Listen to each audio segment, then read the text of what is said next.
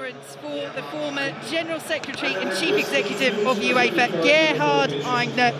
From Germany, he passed away yesterday, aged 80, and they are honouring his memory at the games here at Euro 2024 today as the players gather around the centre circle, their arms around each other's shoulders. And a big picture of Gerhard Aigner is put up on the big screen here in Leipzig ahead of this moment's remembrance.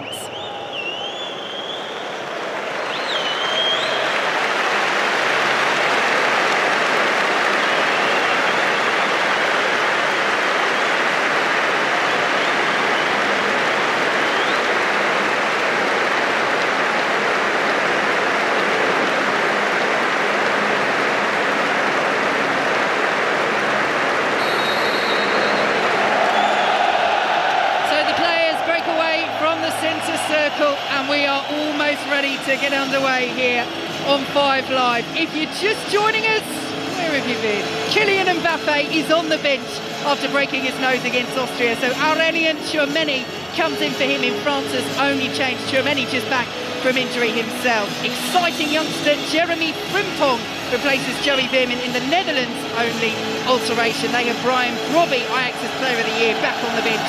He missed their opener against Poland with injury. So it's the Netherlands against France here in Leipzig at Euro 2024. It will be Memphis Depay of the Netherlands to get us underway. A reminder, victory for either side sees them through to the knockout stages with a game to spare. If France win, they win the group as well. So it is Memphis Depay to get us underway here in Leipzig. Virgil van Dijk picks it up and out to the right-hand side and Stefan de Vrij will take you through the lineups in a moment. But Dion Dublin, where will this game be won and lost? You know what? I, I think it's down to you know, maybe a mistake or, or, or, lapsing in concentration somewhere. There's so many good players on, they might cancel each other out, but let's just see what the formations are.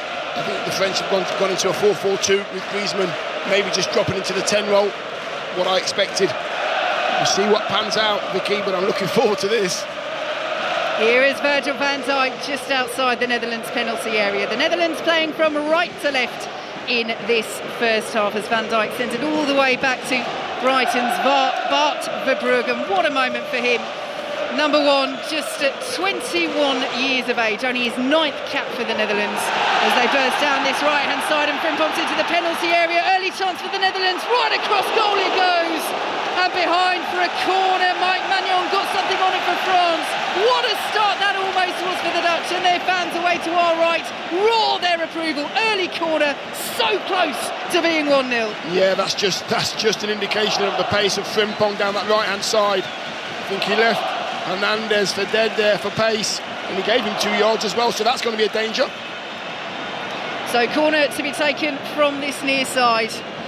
France have a player down inside the penalty area, so our referee Anthony Taylor, refereeing his first game at these Euros, is just saying delay to the Dutch when it comes to taking this corner.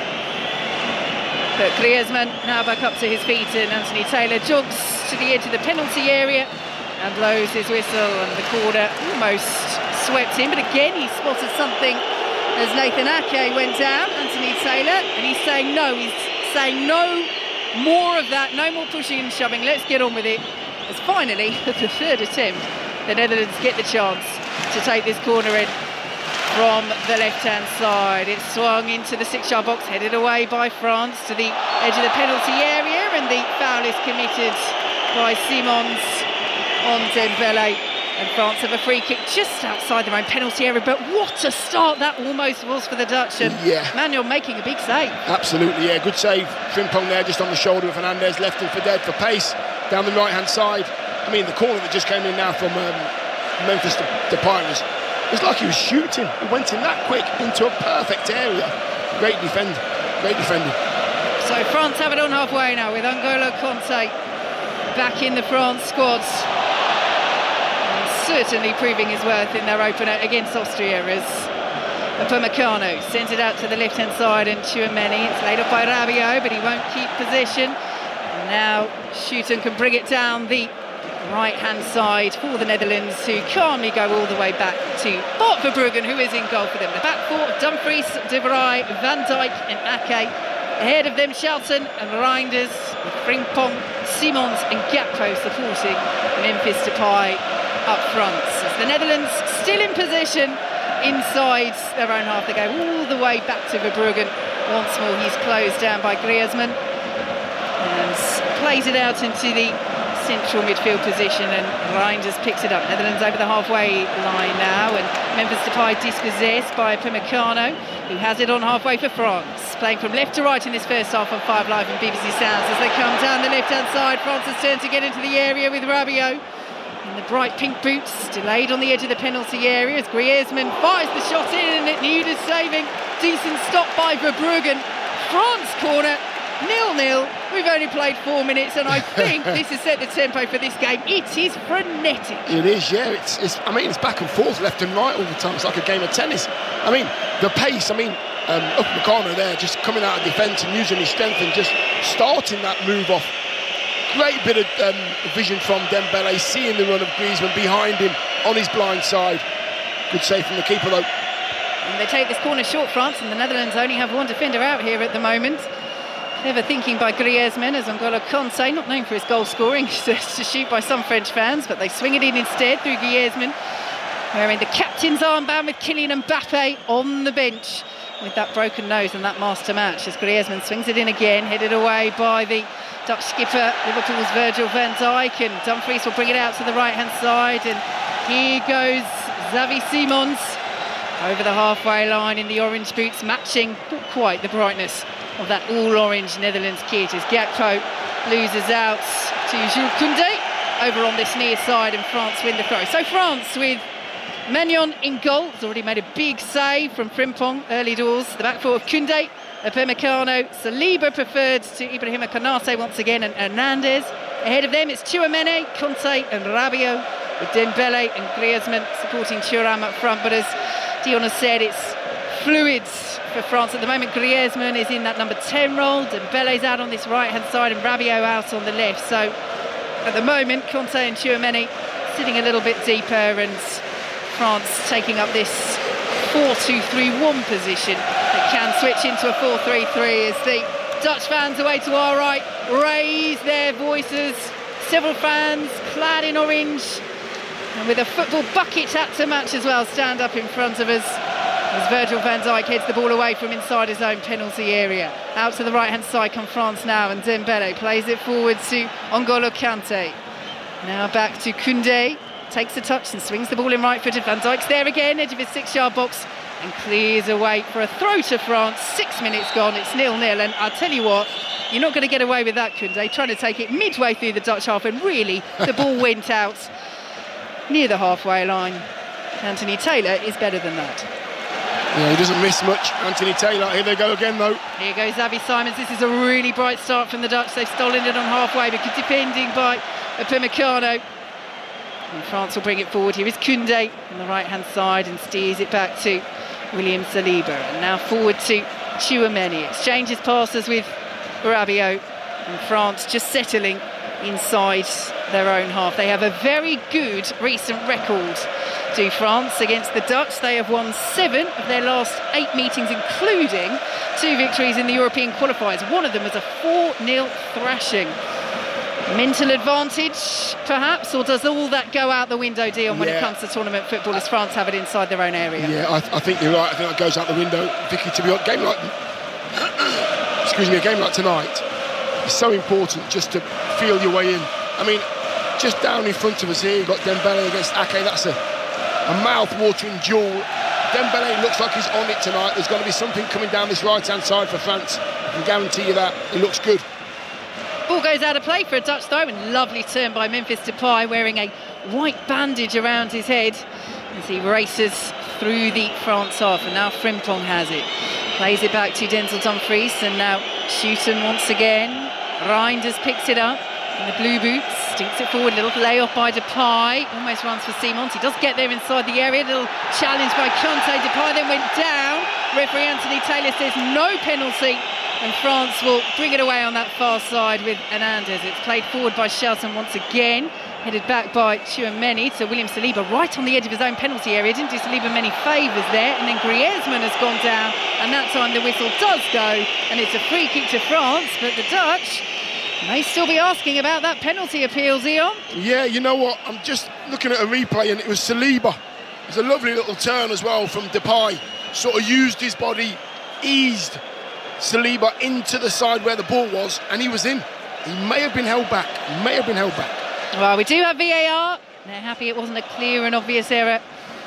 And Griezmann plays it back to Saliba. Stuart Atwell is the VAR today for this huge clash in Group C between the Netherlands and France. A win will take either side through to the last 16.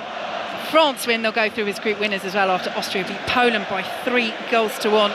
Elsewhere at the Euros today, Ukraine getting their first victory 2-1 over Slovakia as Theo Hernandez comes down the left-hand side for France. Griezmann picks it up now. Thuram won't get there in the penalty area, but it's given away by Frimpong. Poor ball by him, but he does well. Wins it back from Theo Hernandez, and here goes Memphis Depay. Midway through his own half, he had options bursting through the centre, and Cody Gakpo was one of them centrally. He goes left instead to Nathan Ake, and Cody Gakpo was furious with that. Made a good run, was hoping to play off the shoulder of the France defence, but they went left instead, but here they come now over the halfway line with Reijnders and Gakpo will pick it up just outside the area. Memphis Depay tries to latch onto it. Upamecano gets his foot in and France clear away, but the Dutch are just looking dazzling in attack at the moment, Dion. Yeah, but they, they seem to be moving really quickly through the thirds, getting players forward. Here is Reijnders, central position, 25 yards out for Netherlands. Now Dumfries picks it up on the right hand side. They're attacking the ends behind which the France supporters are camped, although we can see a few orange shirts dotted in amongst them. And that in to our left as Schouten picks it up and sends it all the way back to Stefan de Vrij. Now Schouten once again out to the right hand side plays it forward. Denzel Dumfries will chase up against Theo Hernandez. First battle between those two. Dumfries with the looping ball all the way across the penalty area. The little flicked backwards header by Koundé, and it's out for a touch. So they're on top at the moment, Dion. Yeah, they are. They are. They're, they're playing really well. I mean, the runs of Cody Gakpo and Memphis Depay have been really good as well. The defence of that, those white shirts for France there's kind of big gaps in between those uh, defensive lines, and the gaps are a little bit too big, and those orange shirts are finding the gaps at the moment. Dion Dublin here with us on 5 Live and BBC Sounds as the Netherlands have the ball just inside their own half. You can watch this match on BBC One as well. Steve Wilson and Jermaine Jenas, your commentary team. If you'd like to, you can sync up our commentary if you select the option through the BBC iPlayer or the red button as Verbruggen the Netherlands goalkeeper has it just inside his own penalty area. Plays it out to Virgil van Dijk. And now Stefan de Vrij out to the right hand side. And Denzel Dumfries. And now Frimpong on the halfway line. Plays it back to Schouten. And Dumfries has continued his run and is adjudged to have committed the foul there over on the far side on William Saliba. Doesn't really protest there, Denzel Dumfries. No, no. He did. He did. He sort of he, he barged. Um, I think it might have been Saliba in the back there, just trying to get a, a, a, a sort of edge on him there. I think with um, the pace of Frimpong and the pace of Gakpo, it's going to it's going to hold the two fullbacks back into a defensive line. Lovely bit of skill by Ousmane Dembele on this right-hand side for France as he comes into a central position, and now Griezmann has the option of Theo Hernandez and uses it on the left-hand side. Griezmann once more. The way he fizzes the ball around is just beautiful. Lovely one-two with Hernandez. And it's all the way back with Tchouameni just inside the Dutch half. And the orange shirts now drop back into that defensive position. And Ronald Koeman stands just in front of that row of Dutch substitutes. Won the Euros as a player with the Netherlands. Their only major tournament triumph in their history. Didier Deschamps as well as won it with France in his playing career. As France have the ball just inside the Netherlands half, Deschamps, in fact, looking to become the first person to win the World Cup and the Euros as a player and a manager. Says it's not a motivation for him, but my word, wouldn't it be an accolade? France with the ball into the area, good header away by Reijnders who come back to get there just ahead of Griezmann and the ball goes out of play for a France throw. Nil-nil, 12 minutes have flown by yeah, here in Leipzig. They have, I think Reijnders is just keeping an eye on Griezmann. Wherever Griezmann goes, that 14 orange 14 shirt of Reijnders is there in front of Griezmann, making sure that he doesn't create anything or pick out one of those passes. So every time he looks over his shoulder, Griezmann, Reijnders is there. Here is Tchouameni for France as they work it back to the halfway line and out to the right once more with Dembele up against Nathan Ake. He's done really well there. Will be picked up by Koundé who swings the ball in. It's cleared away by the Netherlands outside the penalty area, but only as far as Dembele now. And Rabiot, 25 yards out on the angle. Lovely little back here. We'll find Rabiot once again. Squares it. Griezmann gets his feet in the muddle and can't squeeze the ball home. How have France not scored there? It was an absolutely gorgeous move. Beautiful skill and a player as experienced as Antoine Griezmann has simply fallen over on the edge of the six-yard box and hasn't been able to get the ball out from under his feet and stick it away as France have it midway through the Dutch half. Dion's thoughts in a moment, but here goes N'Golo Kanté into the penalty area. Griezmann again and steers it wide. 10 yards out. What a 60 seconds he's had, Dion. What is going on? Rabiot, I mean, not the chance we've just seen, which was um, Griezmann just putting one.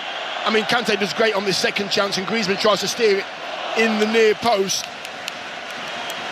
That's just honestly. I'm looking at the. I'm, I'm watching the, the, first chance. Rabiot is six yards out. He's got the keeper to beat, and he plays it to Griezmann. Yes, Griezmann didn't get his feet sorted out. You don't pass it there. You're six yards out. You put the ball in the back of the net. Talk about it afterwards. I don't think Griezmann was expecting it, to be honest with you, Vicki. Yeah, you're right, Dion. It is a big call from Rabiot not to go for goal himself. And Ake takes this throw for the Dutch on the near side. You're not normally as a striker saying any opportunity to score. Thank you very much for setting me up there. Isn't that being a bit ungrateful, you? Yes, yeah. You know what? Six yards out, I'm not passing to anyone. Eight yards out, ten yards out, I'm not passing to anybody. He's got to really put his team ahead there. He did so well. And he's eight yards out, six yards out, just pass it in the corner. That's why you're you and Rabiot is Rabiot. the ball goes all the way back to Verbruggen. Nil-nil Huge opportunity, though, for France to take the lead. As Van Dijk has it midway through the Dutch half. Out to the left-hand side now, and Nathan Ake plays it back to Van Dijk once more. And he sends it forward to Schouten. They're just slowing the play down now, the Dutch. Perhaps a little bit rattled by the way that France carved them open there inside their own penalty area. 15 minutes gone here on 5 Live and BBC Sounds here in Leipzig and the noise and the singing and the chanting has not stopped for a single second as Van Dijk has it midway through the Netherlands half. As Kelly mentioned earlier, the Dutch fans have completed their traditional orange march to the stadium. They were making a real noise, setting off smoke flares in the square right by a hotel in Leipzig earlier. And they're coming down the left-hand side with Cody Gakpo. Good run this is, urged to shoot, does shoot, and it's saved by Maignan pushes it behind for a Dutch corner. Yeah, great save, Maignan. They had to watch that one because Cody Gakpo actually dropped his left shoulder, came inside, and he's just where he wants to be. 18, 20 yards outside the box, and he just tries to call it to that far, that far post. And you know what made, makes it difficult for the keeper? It bounces just in front of the keeper. He gets a good top hand on it, puts it around the corner. Great save. 16 minutes gone, nil-nil. As the Dutch have a corner on this far side. Memphis Depay prepares to take it. Ake's on the move inside the penalty area. It's looped in by Depay. It's poor. It's over the head of everybody. It will be collected by their central midfielder Reijnders. And now Jeremy Frimpong has it once more as Schouten picks it up on the halfway line and Frimpong all the way back to Bart Verbruggen. Schouten and Reijnders, very important players for the Netherlands at this tournament. They're missing a couple of key central midfielders, the likes of Frenkie de Jong, Teun Koopmeiners, who's had a brilliant season with Atalanta France have a free kick midway inside their own half. Martin de Roon as well, the former Middlesbrough man. All injuries before the tournament, they knew they'd have to cope with them, but big opportunities for Tijjani Reijnders and Jerdy Schouten.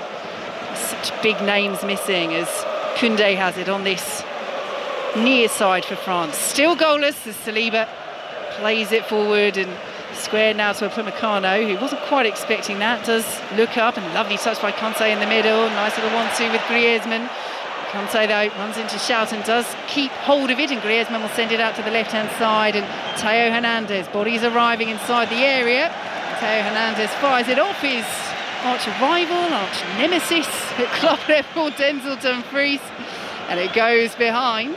What are you staring up? What are you staring up? You honestly, you're terrible. Keep bringing that one up, don't you? Like that one. It's a great story. I love a rivalry in football. We got into it pre-match. We'll, we'll try and get into it again if you're just joining us for commentary here in Leipzig. But basically, they play for the counterpart Milan's in Italy. They both got sent off in the Milan derby after a bit of an altercation, and they are big rivals. There's more to it than that.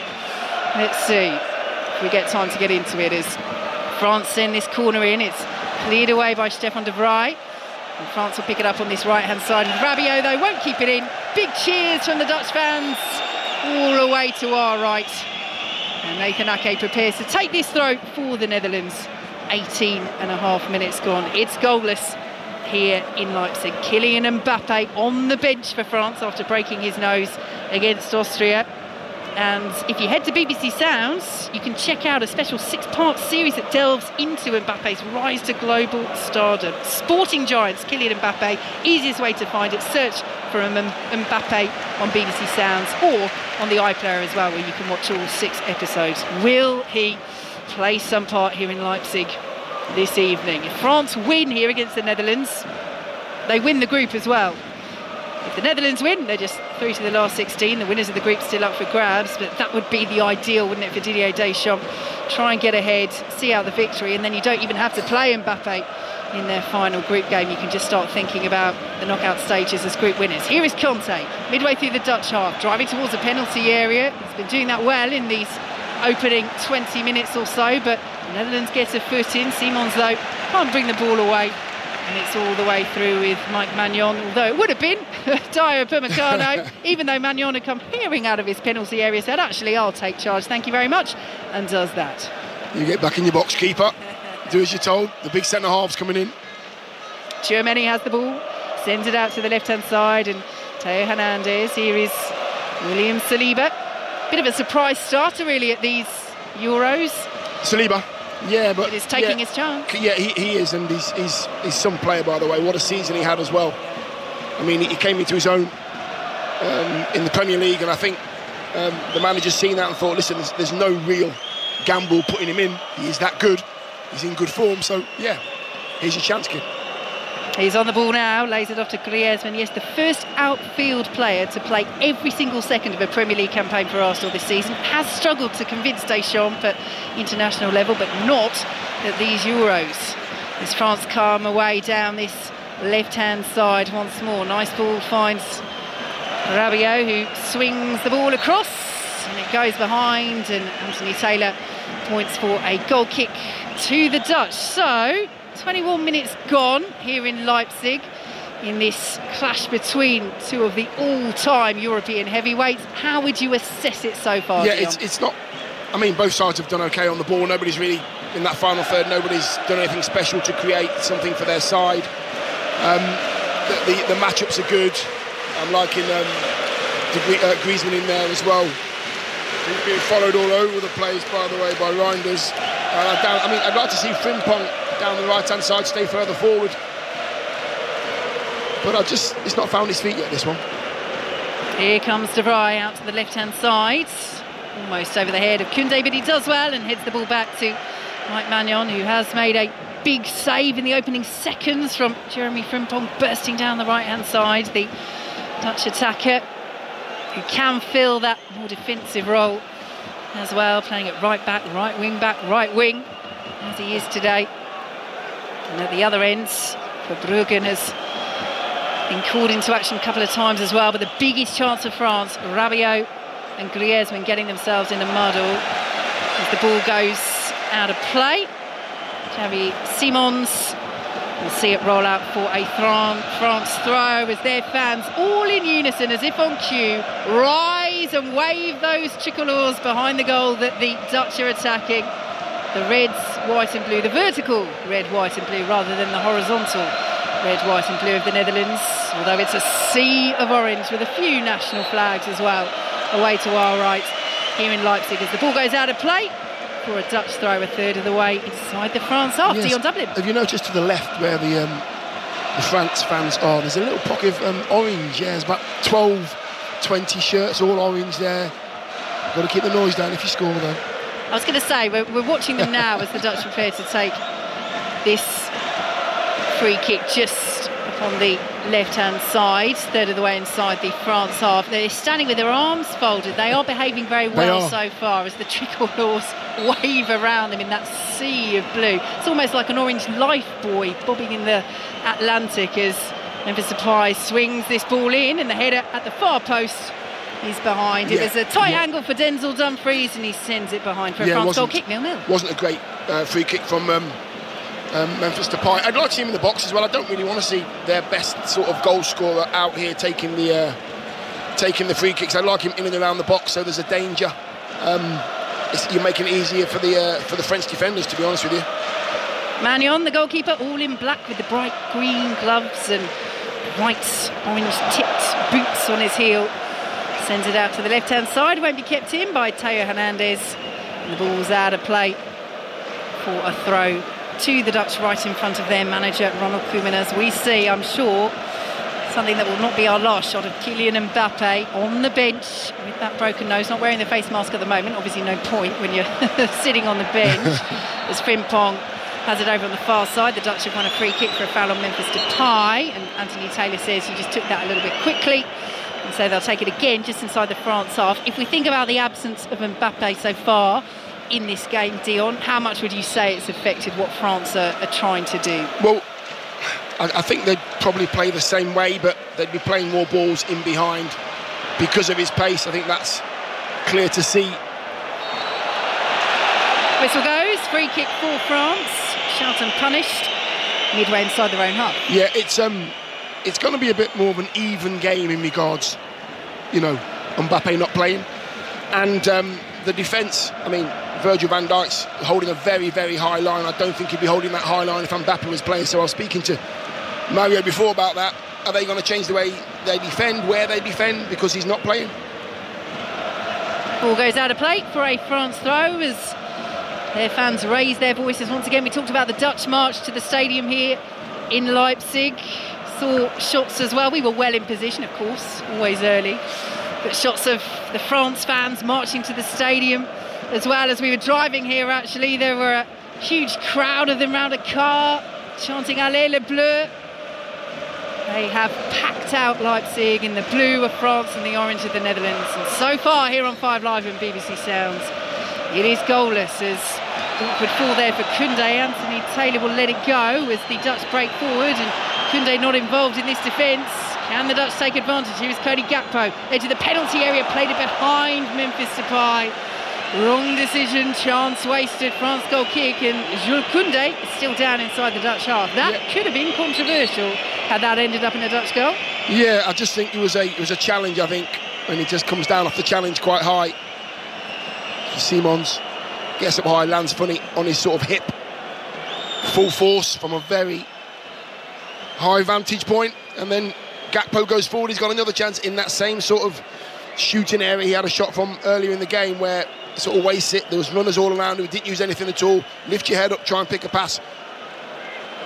Well, he is up to his feet, Jules Koundé, playing it right back for France today, as he does so often for Barcelona. He does say he prefers playing at centre half, but he played at the level that he has for Barcelona in that position, it's of course something that Didier Deschamps can call upon with few worries, even at a level as high as this. Nil-nil between Netherlands and France here on 5 Live and BBC Sounds as Maignan plays the ball up towards halfway. Headed straight back towards the France penalty area. Saliba is there and intercepts, and Griezmann will now play it out to the left-hand side. And Rabiot back to Griezmann once more. Rabiot's continued his run. Good defending by Denzel Dumfries. Gets the interception in and plays it forward to Jeremy Frimpong. And now Jerdy Schouten squares it to Tijjani Reijnders. And once more the Dutch sweep forward and are roared forward by their fans again jumping up in front of us and waving their arms forward towards that France penalty area behind which the tricolours are waving once more as Reijnders takes a shot and Hernandez with the deflection will carefully see that all the way through to the France goalkeeper Mike Maignan. Yeah, Reijnders is just winding up the shot only 20, 20 yards out and who comes out of nowhere Kante blocks the shot goes into his keeper's hands and he, and he, and he nullifies another danger.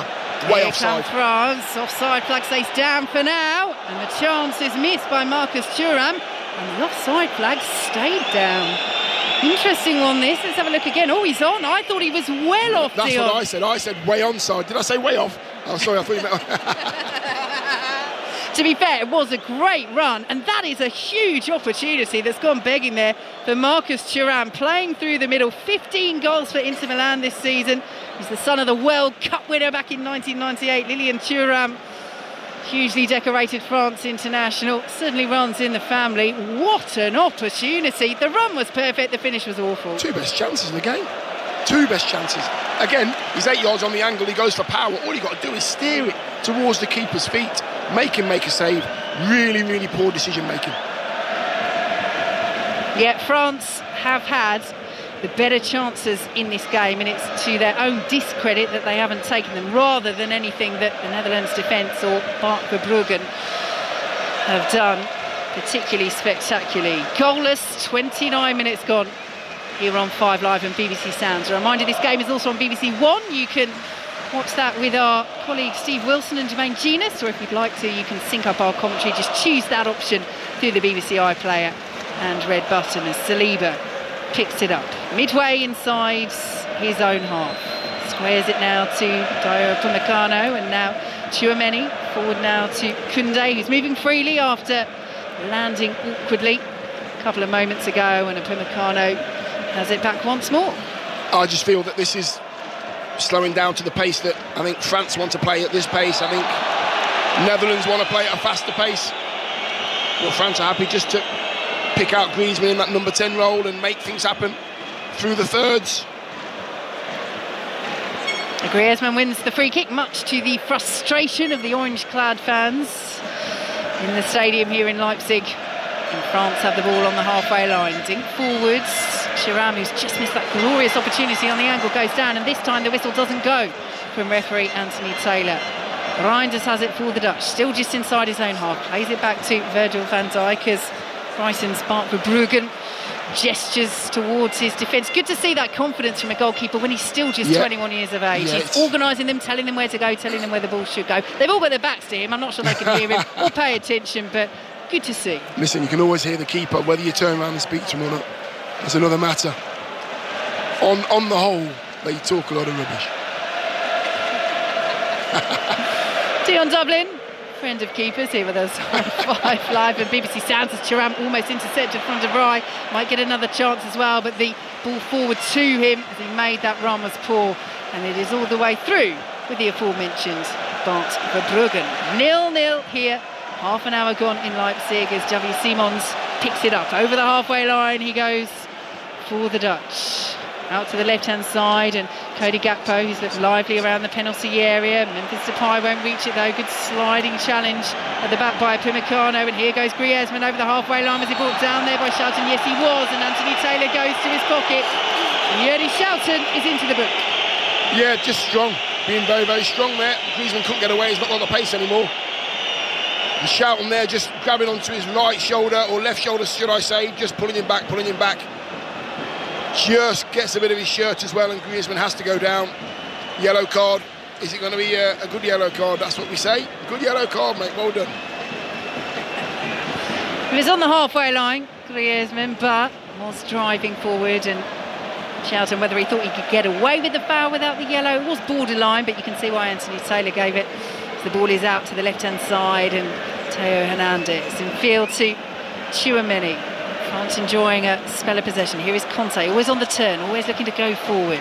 Plays it out to the left-hand side and Theo Hernandez once again and Tchouameni back to William Saliba. And now forward once more to Rabiot. France just inside the Dutch half. White shirts moving forwards, but Memphis Depay will dispossess Rabiot, who looks at Anthony Taylor and raises his hands, but Depay comes forward, plays it out to the right-hand side, won't be reached by Jeremy Frimpong, and Griezmann makes sure that he can't pick it up at the second attempt. Few loose passes Yes. from the Dutch recently.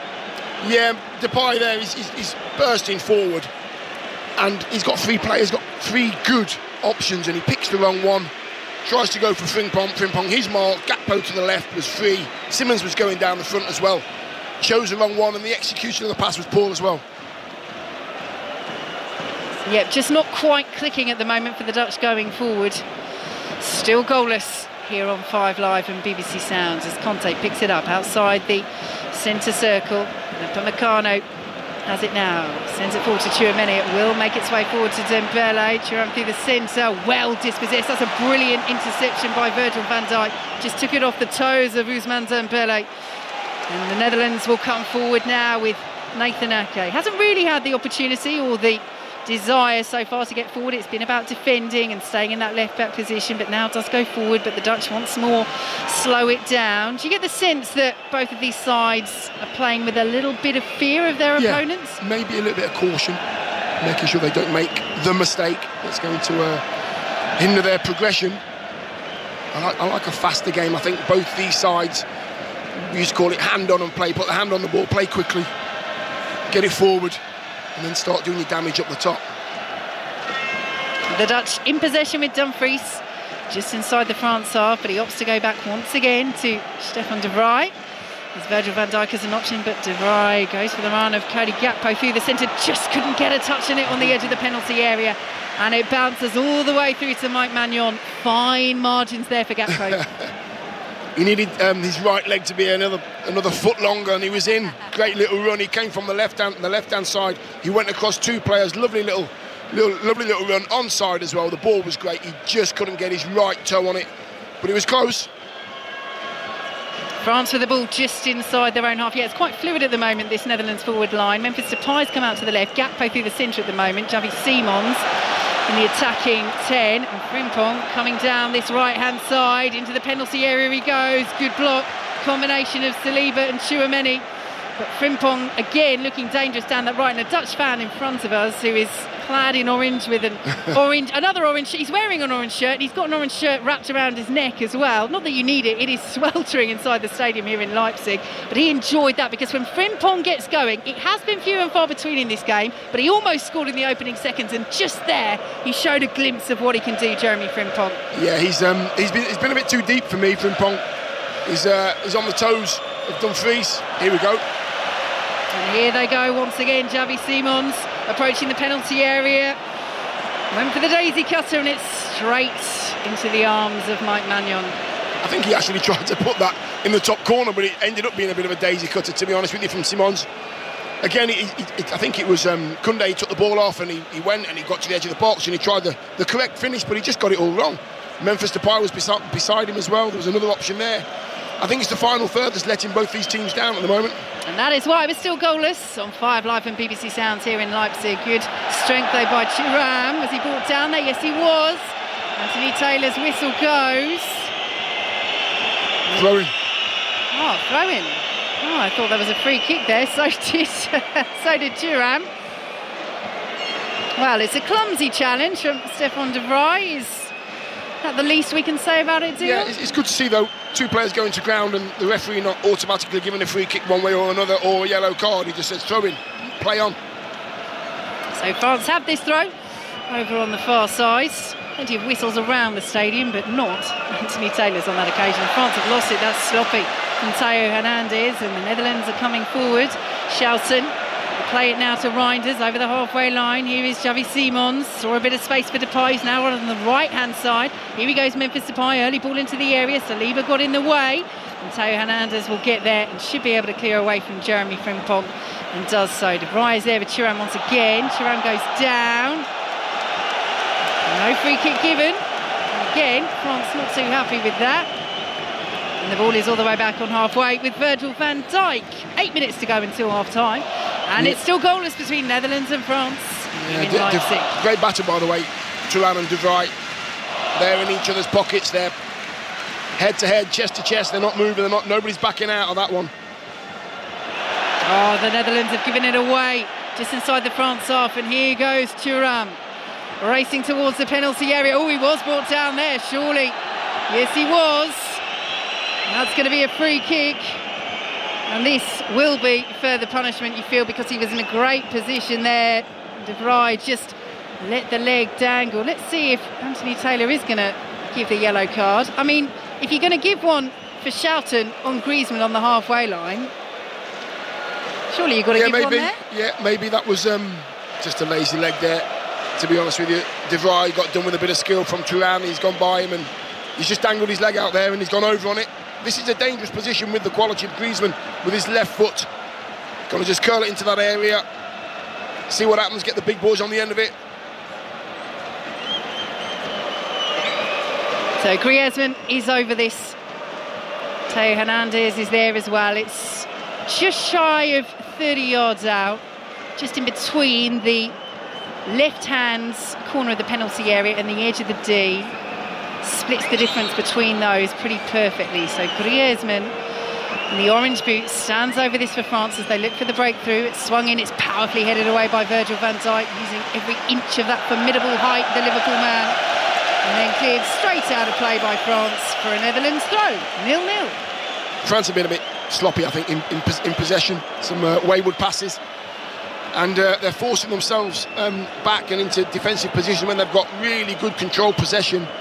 And they just seem to be a little bit sloppy. They're getting caught in possession as well. It's getting taken off their toes by a very hard-working Netherlands side at the moment.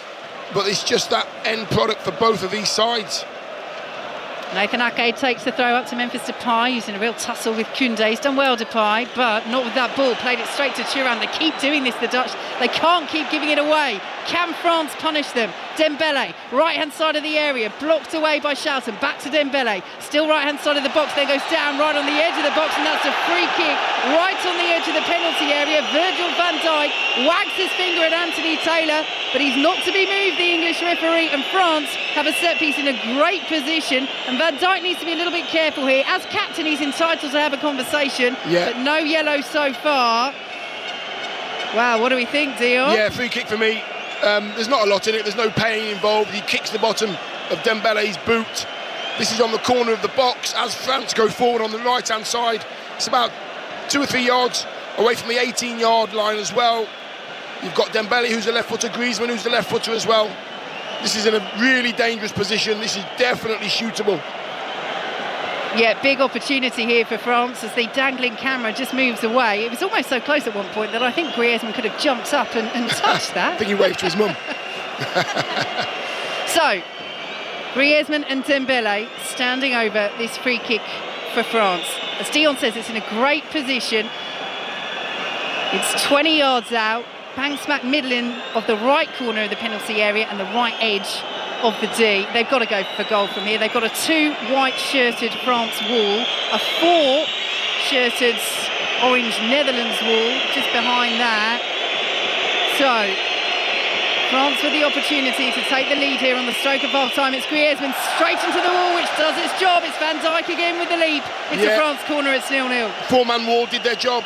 There was no draft excluder on this occasion, and they still all jumped incredibly high, did their job heading it away for a corner. So huge jeers and boos and things being thrown at Griezmann. That is not what we want to see from the Netherlands fans. And now, look, one person's done it and now more people are doing it. And Griezmann is taking the cup. He's thrown it gently to the feet of one of the cameramen and they're still throwing things. Anthony Taylor needs to come over and do something about this. Griezmann again is coming back. He's saying to the fans, he's got both hands out saying, look, just stop it. He's moved another cup away. It's very calm from Griezmann. Now he whips the corner in. Poor delivery. Headed away on the edge of the six-yard box by Cody Gakpo.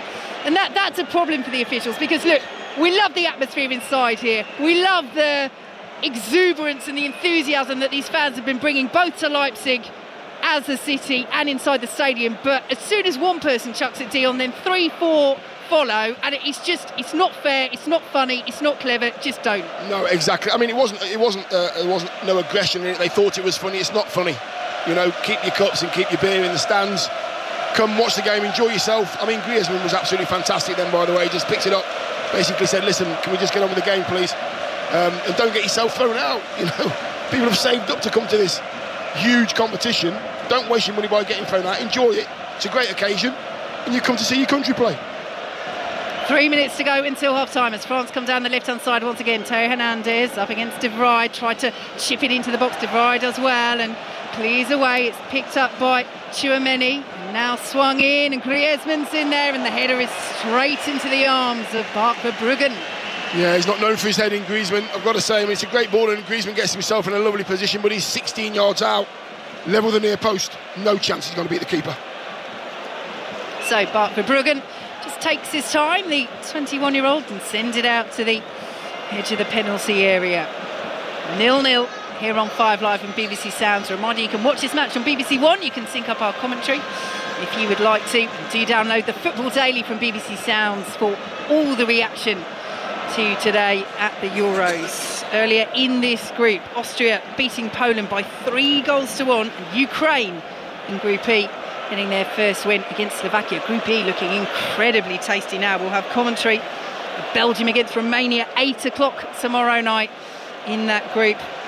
Georgia against the Czech Republic gets things underway at 2 o'clock, followed by Turkey against Portugal at 5. The football just keeps on coming from Germany here on 5 Live and BBC Sounds as the Netherlands have the ball midway through their own half. They now advance towards the halfway line, but again, Dion, we talk about the caution that at times these yeah. sides are play with. You, you get the sense that the Dutch in possession right now, just in the back of their minds, let's not concede before half time. Absolutely, and what they do as well, because they commit so many orange shirts forward, that they cannot really afford to, to lose it in really bad areas because they've committed so many players forward.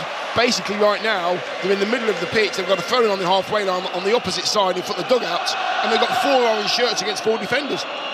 It's, it's the way they play, but you cannot afford to give the ball away. They're in possession once more, the Netherlands, as they play the ball out to the left-hand side. They are such a strong side defensively, although they weren't against France in the qualifiers. Oh, surely that's a handball there by Ake. It has eventually been spotted by Anthony Taylor. Dembele was screaming for it. The assistant on the near side, right in front of us, here in the Leipzig Stadium, didn't flag for anything, but it was clear, wasn't it? He just grabbed it and possibly, possibly, not every handball is a yellow, but that was so intentional. Could have been put there, okay? Ah, he just picked it up and put it in a place where he wanted it.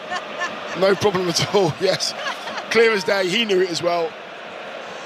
Yeah, it was one of those. You're almost repositioning it for a free kick because Maignan the France goalkeeper, has it just outside his own penalty area. And I think, again, now France are in possession, we're seeing the same thing. They are a little cautious of going all guns blazing before half time as that tricolores, a few lone tricolores way behind that goal that Maignan and France are defending as Lovely overhead clearance from Gakpo. It's dinked forward by Xavi Simons and Denzel Dumfries hadn't made the run as we enter one minute of added time. I think from the games I've done so far here, that's definitely the least added time that we've had at the end of the first half, Dion. Yeah, it's about right though, isn't it? Because the, the, the ball has been in play most of the time. A couple of short stoppages.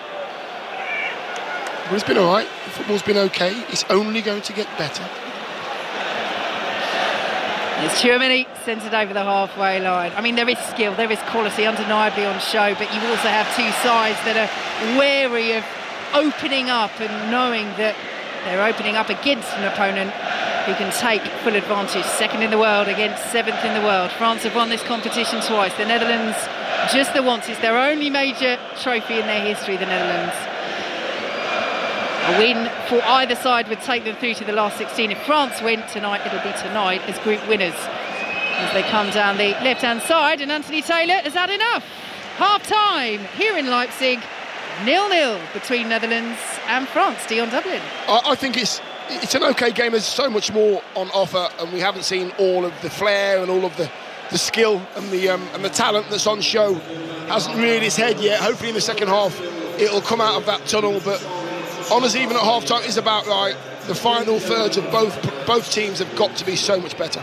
And I'm sure a lot of the talk throughout half time around the stadium and from you listening to us at home and watching on BBC One will be about just how fit is Kylian Mbappe. He's on the bench, he's got that protective mask. How much of a part can he play and will France turn to him? Let's see in the second half. But at half time here in Leipzig, it's Netherlands nil, France nil. Yeah, you'd have to think that France would have to be under pressure if they were going to bring on Kylian Mbappe in this, the second half of this game. Dion, you said it's okay this game, it's fine. I've really enjoyed it. What am I seeing that you're not getting out of this game? I, I just think there's there's certain players haven't really contributed in, in, this first half. Lots of lovely little football in the middle of the pitch, but in the final third, the, the, the last pass has been wrong. France have had two unbelievable chances, eight yards out. They haven't taken them. The finish has been poor. I expect more from two nations like this. And I'd like the uh, PA to be turned down just a little bit, please. Thank you. oh, just, th- just for, for, all of our nerves, that would, that would work really well. Mario Melchiot has also been watching the, the first half. Mario, what did you make of it? No, I saw two teams. I mean, of course, um, we knew what the France team was going to be like, and you could see the Dutch. There was some. Uh, we were cautious, very cautious. Why we were cautious? Because we were kind of worried about the the counter attack. Regardless if Mbappe is not playing, they still have a team out there, and the intelligence. What we talked about, Griezmann when he dropping off, and you know, um, coming into as a striker, and sometimes Rabiot going beyond. But what is the key thing for Holland to break France down? They have to be careful because Simons is playing a lot of, spending a lot of energy and trying to defend because they were pressing them so high, trying to win the ball back. When he wins the ball back, he almost doesn't have the power to do something. So the first 20 minutes was dangerous because, you know, for for um, Rabiot to pass it to Griezmann that moment, oh my God, I was, was happy that he did that because that was, was not a right doing? choice. What was he doing? Passing six yeah. yards out. yeah, it's good. It was an extraordinary decision, and, and, probably the two best chances of the first half, almost certainly the two best chances of the first half, have fallen to France. There's been some really lovely play from the Netherlands uh, around the, the France box, but they've been giving it away a lot in midfield, particularly as well, Mario. Yeah, but that's why I said, you know what? What the thing is, uh, what's very uh, important, it's you know when you when you spend a lot of energy to win the ball back, you need an outlet, and because Depay is not really being an outlet for Holland, they're now struggling and see like where can they open up. I think Gakpo came inside. We talked about it. What he did, uh, you know, coming from the left inside, what he did for PSV before uh, he joined Liverpool. We could see that moment where he where he crossed him, and it was a good save. But away from that, I think they need to uh, um, create a little bit more danger so France pushes back a little more. If you don't push, if you don't push them back, they will keep going. And there is one moment they're going to crack you because they have the speed to do it. And I hope Holland doesn't lose the energy because the second half is going to be even harder for Holland if they keep playing like this. Mario, good to talk to you as always. Thank you very much for your thoughts on the first half here in Leipzig, where it is Netherlands nil. France nil. We'll be back for the second half very shortly, and we'll round up the rest of the day's sports news after the BBC News with Nick Hatfield. The voice of the UK. And the home of the Euros and the general election 2024. This is BBC Radio 5 Live. Good evening. Nigel Farage says the West provoked the war in Ukraine because of EU and NATO expansion. The Reform UK leader has also confirmed that in the past he'd said he admired Vladimir Putin as a political operator but disliked him as a person. You can see Nick Robinson's full panorama interview with Nigel Farage on the BBC iPlayer. The police commissioner for Northamptonshire has called for tougher vetting procedures after the county's chief constable was sacked for lying about his career in the Navy. A misconduct hearing found that Nick Adderley falsely implied he fought in the Falklands War, even though he was just 15 at the time. A jury has found a public schoolboy guilty of the attempted murder of two other students and a teacher in Devon. The 17 year old attacked them with hammers at Blundell School in Tiverton. The NHS is verifying hundreds of documents containing highly sensitive patient information, which were published on the dark web after a cyber attack. The group behind the hacking are demanding money. And two Just Stop Oil activists have been charged after private jets at Stansted Airport were sprayed with orange paint yesterday. They're accused of criminal damage, aggravated trespass, and interfering with national infrastructure. The team sheets are in, and it's quite a lineup they've gone with here. Kyle Walker and Micah Richards, Lineker, Savage, Chapman, Shearer, Kate, Bamford, Sutton, Crossman, Rooney, and Mbappe. This is just getting silly now. From Match of the Day Top 10, You'll Never Beat Kyle Walker, and the Football Daily, 5 Live has the perfect lineup of podcasts to accompany the Euros. It's an absolute! Listen on BBC Sounds This is 5 Live Sports with Kelly Cates. Euro 2024 Deutschland. Hello, you join us in Leipzig, where it's Netherlands nil, France nil at half time in their Group D match. We'll bring you the second half of that very shortly. In the same group, Poland are on the brink of exiting the tournament. They were beaten 3 1 by Austria earlier today. Also today at the Euros, Ukraine beat Slovakia 2 1. They came from a goal down to do it, and after the game, Ukraine manager Sergei Rebrov said his team has done their country proud. I cannot say we, we did very bad against Romania. Yeah, we lost in some components and very important, but I cannot say this is the different team. But today I think that was different spirit. I'm pleasure for the players that they show really spirit of Ukraine on the pitch and we deserve this win. We, we have a very young team And on this level, they didn't play on this level with the full stadium with 75,000, and sometimes mental is very hard. But in football, it's happened. Sometimes you can you can be losing one game, but for the second, as I said, we have to be concentrated and show the other level of the spirit. And I think today players were more concentrated. I cannot say in first game they didn't understood why they are here and who they are representing, uh, the people who is now fighting for the freedom, not only Ukraine or all Europe. Today that was very important um, win for our country, for Ukraine, for our fighters, for our supporters, and I'm sure today they were proud with the with the players. Now, the other thing that result does is it leaves Belgium bottom of Group E. They've only played one game so far, and they played Romania tomorrow. If Belgium win that, then all four teams in Group E will be on three points going into the final round of matches, which remember are played at exactly the same time.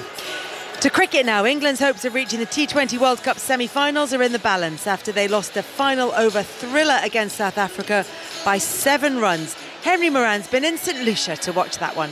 Well, here at a now empty Darren Sammy cricket ground uh, in the north of St Lucia, England will be back at their hotel feeling a bit frustrated. South Africa winning a game by seven runs. England looked like they were out of the picture, then required 25 runs from 18 balls, but couldn't quite get over the line. So it is now one win and one defeat uh, in their side of the Super 8 draw. And Steven Finn, uh, Ashes winning England fast bowler, uh, was part of the, the Test match special team.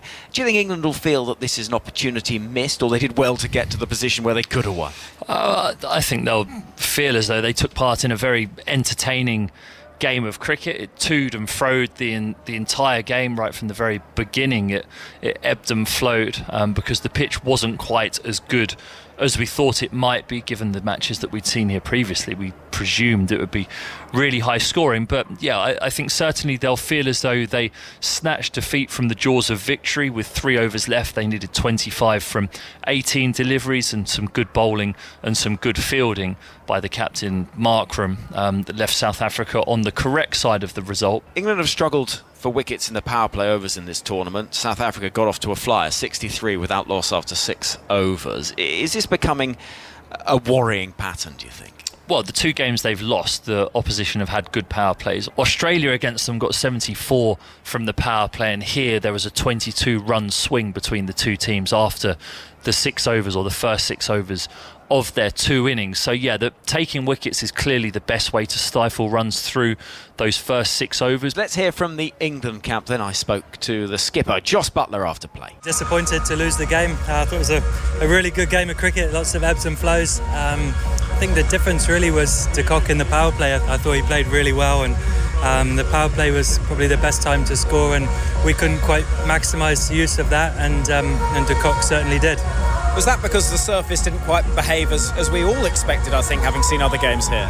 Yeah, maybe a day game. is a bit drier and a bit bit slower. I think it, it certainly played a little bit like that. I thought the bowling performance, I said, after the first six, we were outstanding. The way we restricted them to, to 160 was probably about par, I thought. Um, so we were confident of chasing it down. Uh, but I thought they, they bowled well in the power play, didn't let us to get away. And um, you know, credit to Brook and Livingstone for getting it so close. And, and then, you know, like I say, the ebbs and flows, you probably looked like favourites at that point. But on that kind of wicket, it's never quite as simple as that and then the USA up next, which is going to be an unusually new fixture for you guys. And it's a fixture you're looking at now, and you've got to approach, I suppose, like the Namibia and Oman games, where net run rate, all those considerations come in. Yeah, we just have to try and win the game, and um, you know, that's we haven't played against the USA before, so looking forward to that. Um, yeah, but um, the games come thick and fast, so you dust yourself down and go again. Do you feel just finally that you're getting proper cricket now after the bitty group stage? It feels a little bit more like a proper tournament for you.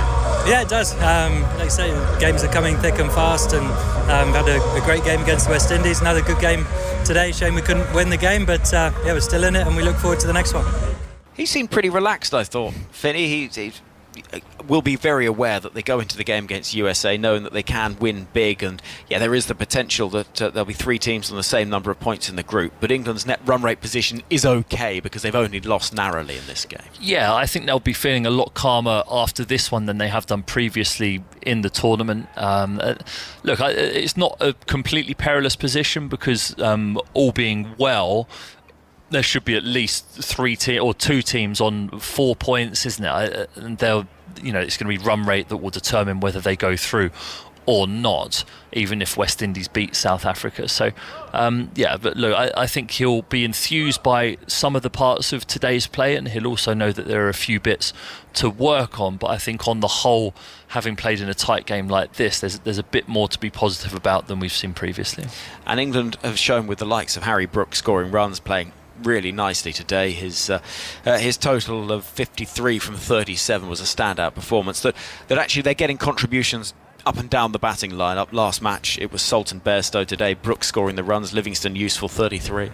Yeah, it's important that the contributions aren't just coming from one or two players that are winning games because then if they fail, the team's heads go down and the whole team fails. But if those contributions are coming from different players and different people are hitting form at, at different times and, and hopefully dovetailing as they come through the tournament to try and put the perfect performances together when you hit that knockout stage at the semi finals and the final, the way that Harry Brook played today and his versatility and his ability to read game situations is something that should help England in that middle order. So the other two teams in England's side of the draw are USA and West Indies. They play in the early hours of Saturday morning. Then England's crunch game in Barbados against the USA is uh, Sunday afternoon UK time with our coverage here on 5 Live Sports, Sports Extra, as well as BBC Sounds. Then after that, the game between West Indies and South Africa to determine things. For England, it's straightforward, really. Win and win as big as possible and hope the rest is taken care of. Thank you very much to Steven Finn. Defeat for England here in St. Lucia against South Africa. And thank you to you as well, Henry. Just to remind you that as well as all the live coverage, the latest TMS podcast will be available later this evening via BBC Sounds. Coming up on 5 Sports Extra, the second half commentary of Leeds Rhinos against Leigh Leopards in Rugby's Super League. At half time, Leeds are 12 0 up. But it's been a really emotional night. There have been tributes to Leeds Rhinos legend Rob Burrow ahead of the match in the club's first home game since his death earlier this month. Everton have released a statement to confirm that the Friedkin Group has been granted a period of exclusivity to buy the majority shareholding in the Premier League club. Everton have said all parties will now work together to conclude this process. In the meantime, the club will continue to operate as normal. Bayern Munich is set to sign Crystal Palace winger Michael Olise. He's chosen the Bundesliga side over Chelsea. Wales are searching for a new manager after sacking Rob Page after the nation's uh, failure to qualify for the Euros. Scotland defender Kieran Tierney has been ruled out of the rest of the Euros with injury. We've got commentary of their must win final group game against Hungary. That's 8 o'clock on Sunday on 5 Live and BBC Sounds. There's full build up from 7 o'clock, but we'll be looking to that one um, over the next few days and all day on Sunday as well. And Andy Murray is due to have a procedure on his back just nine days before Wimbledon begins. He was forced to retire with injury from Queen's on Wednesday. So Euro 2024 continues on 5 Live Sport. This evening it's Netherlands against France, live from Leipzig, goalless at halftime. The Netherlands side just making their way out onto the pitch. France side just a couple of moments behind them. The Netherlands will be kicking into the, the side of the ground or the end of the ground that has their own supporters. It is a wall of orange off to our right, over to the left. Mainly France supporters waving their tricolours with just a smattering uh, of orange in amongst them. So France making their way out onto the pitch. The second half about to get underway any moment now. And your commentary team here in Leipzig, Dion Dublin and Vicki Sparks. Thank you very much, Kelly. And the camera, as those players came out a couple of minutes ago, has only been following one man. Kylian Mbappe came out before the rest of the France players. He's made his way to those red seats in the France dugout here in Leipzig Stadium. And he is sitting there with a very pensive look on his face. And that's it, isn't it, Dion? As France prepare to get us underway yeah. in this second half. No changes at half time. So Mbappe is still on the bench. We don't know how fit he is. No. You no, know, the fact don't. that he's on the bench, that in and of itself could be mind games from Didier yeah, Deschamps, who kept saying, you know, he's moving in the right direction for, for him to play.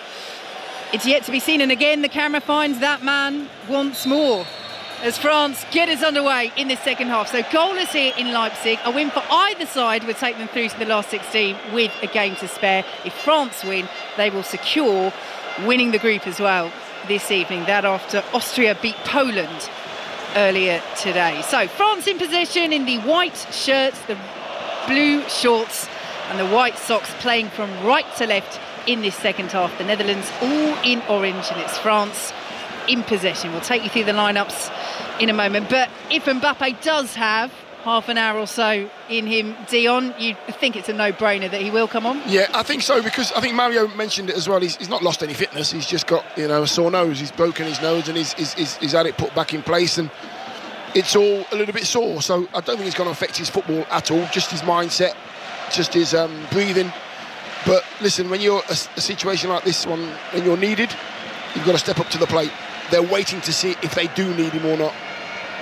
They had the ball on the far side, France. They almost kick it straight out of play. Upamecano has had to race back into his own half and collect that ball and squares it to Arsenal's William Saliba. So France still just inside their own half. The Netherlands have Verbruggen, Brighton in goal. The back four of Dumfries, De Vrij, Van Dijk and Ake. Ahead of them, Schouten and Reijnders with Frimpong, Simons and Gakpo supporting Depay up front. But it's a very fluid Netherlands forward line at the moment, though. That's how they're lining up as France burst down this right hand side. Oh, it was a brilliant run, but the final touch was just a little bit too strong from Dembele, and it's behind for a Netherlands goal kick. So France with Maignan in goal. The back four of Koundé, Upamecano, Saliba, and Hernandez. Ahead of them, Tchouameni and Kanté with Dembele, Rabiot, and Griezmann supporting Thuram up front. But again, that France midfield can sometimes be a three. And occasionally Griezmann will get further forward as well to support that attack as Schouten has it, loses it, hits the back of his heel, and here goes Rabiot.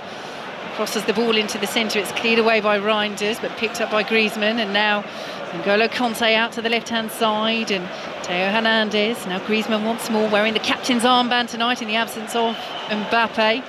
Will he make an appearance, in Mbappe, from the bench as Rabiot has it. Midway through the Netherlands half on the left-hand side. Goal is here on 5 Live and BBC Sound. You can watch this match on BBC One as well with our commentary team of Steve Wilson and Jermaine Jenas. If you'd like to, you can sync up with our commentary as well. Just choose that option via the iPlayer or the BBC Red button as Tchouameni has it in the centre for France. Out to the left-hand side he goes. And now Theo Hernandez closed down by Jeremy Frimpong and William Saliba now picks it up again. It's calm, it's cautious from France. Yeah, it is, and what they're doing actually, Griezmann is actually leaving the centre of the pitch. There's a big hole in the centre of the pitch where there's no white shirts, no French players at all. They're just trying to force this um, this Netherlands side to come out of their shape, and they're not getting sucked in at the moment. So it's very patient from France, and the Netherlands are having to stay in their shape. Here goes William Saliba over the halfway line. Forward now to N'Golo Kanté, who plays it out to the left-hand side. And Rabiot in the pink boots, he won't keep it in, and the ball goes out of play for a Netherlands throw deep in their own territory. Goalless here as Kylian Mbappe watches on. They haven't played a major tournament match without Kylian Mbappe, France, since the final of Euro 2016. That was before Mbappe made his debut. So since making his debut, he has featured in, not played 90 minutes, but featured in every single major tournament game. And the France fans behind the goal away to our left with a few tricolours waving as the Netherlands win another throw and advance a few yards further up their own half. We'll be desperate to see him come on. But I suppose you have to think about the rest of the tournament as well. And if there is Yeah. any question over whether he's not quite ready to play, whether he could do further damage and rule himself completely out, then that's, of course, another consideration from Deschamps. I think- Ideally, yeah, they get a goal, they win the game, they've won the group, and he doesn't have to play in the third game either against Poland. That's that's that's the uh, the dream scenario for France. Get over the line without him, and then um, you know it's just about his where's his mind. It's his mindset regards playing the game again. Will he be frightened of getting a knock on it? Of course he will, but. You've got, to, you've got to really get rid of all those thoughts and just, you know, if you needed to get over the white line, go and do your job. I'm pretty sure he will, and he will affect the game if he does come on. So, five minutes gone in this second half, and it's still goalless between Netherlands and France. As France once again played around their own half. Here is Tchouameni closed down by Jeremy Frimpong, and now Upamecano closed down himself by Cody Gakpo. Sent by Saliba. Lovely ball out to the right hand side. And now Koundé down the right for France. Whips the ball in, cleared away by Virgil van Dijk, only to the edge of the area. France might be able to get the shot away here with Dembele. Does so. It's blocked on the edge of the box and picked up by Xavi Simons. Played forward now to Memphis Depay. Nice little layoff to this right hand side. Just created a bit of space for Frimpong, who created that space himself and twisted away from the white shirt of N'Golo Kanté, But Kanté then closes him down, and so Denzel Dumfries goes all the way back to Verbruggen. What do you think both managers would have said to their sides at half time, Dion? Well, they would have said, listen, it's all about doing exactly what you've done in the first half. I just need you to be a little bit more clinical. Here goes Frimpong, ball into the area, looking for the run of Denzel Dumfries, who does commit the foul as he tried to win that ball away from Upamecano. Huge cheers and roars of frustration from the orange wall behind that goal. Good run from Dumfries, Upamecano down, France Yeah. free kick. I think he just stepped on Upamecano's foot there. Yeah, he just gets there second, Dumfries. Great covering though from Upamecano. His, his, his teammate, his centre half partner went in tight, so he has to come in behind. His pace and his power gets there first. Well, he had an eventful game, Upamecano, when these sides met in qualifying, the 4-0 victory for France. He scored, also conceded a penalty for handball, which was saved from Memphis Depay by Mike Maignan. But the Netherlands certainly a different proposition. It's been an even game. France have wasted a couple of huge chances. Maignan's been called into action as well. France's opportunities, really, they'll be kicking themselves as N'Golo Kanté comes forward now, just outside the penalty area, goes for goal, high over the bar. As we say, he's not known for his goal scoring, N'Golo Kanté, just two for his national side. But what a resurgence it's been for him. His first appearance in two years in their penultimate friendly against Luxembourg. Really struggled with injury towards the end of his time at Chelsea, including missing the World Cup in 2022, but has played regularly this season and at 33 years of age was the surprise inclusion in the France squad. Didier Deschamps saying, I'm convinced the team will be stronger with Kanté. The ball is all the way back with Verbruggen. He was so good against Austria. How would you rate his performance in this game, Dion? Well, Dion's thoughts on that in a moment because the Netherlands are sweeping forward down this left-hand side. Here goes Gakpo, lays it off. Reijnders urged to shoot, instead plays it to Frimpong, and Anders just gets the foot in, and it's cleared away. And Schouten will pick it up for the Dutch and steer it back to Van Dijk in the centre circle. Yeah, Dion. yeah. About Kanté, you listen, he'll get into most Premier League sides now. I think in that holding role, he's he's that good. Even even at his age, he's he's done everything. He can do everything, and he does the things that the other players don't want to do, the dirty work, and he's good at it. And doesn't want plaudits for it, and he's won everything. Nice work by the Netherlands down the left-hand side. Here is Nathan Ake, pulls it back to Memphis Depay, and Ake has it once more, the Manchester City man. See, that's that's really frustrating as a centre forward. You get yourself into a crossing position and they don't cross it. It's because the person on the left hand side is a right footer. It's as simple as that. You've got to, at some stage, go round the outside and create something. Here goes Xavi Simons. Was he brought down there? Yes, he was. Fouled by Ousmane Dembele. And the Netherlands have a free kick. Good position this, central, 25 yards out. Yeah, there'll be a there'll be a, a, uh, a queue of players here. I mean, this Memphis Depay that's got the ball in his hand, just looking at the free kick again. Dembele just gets in behind Simons. This is interesting. This there's something there's something going on here. There's a little off the training ground free kick coming up. I think. There's a lot of pointing going on, isn't there? You go over there. You wasn't there in training. Go over there. That's not your spot. That's my spot.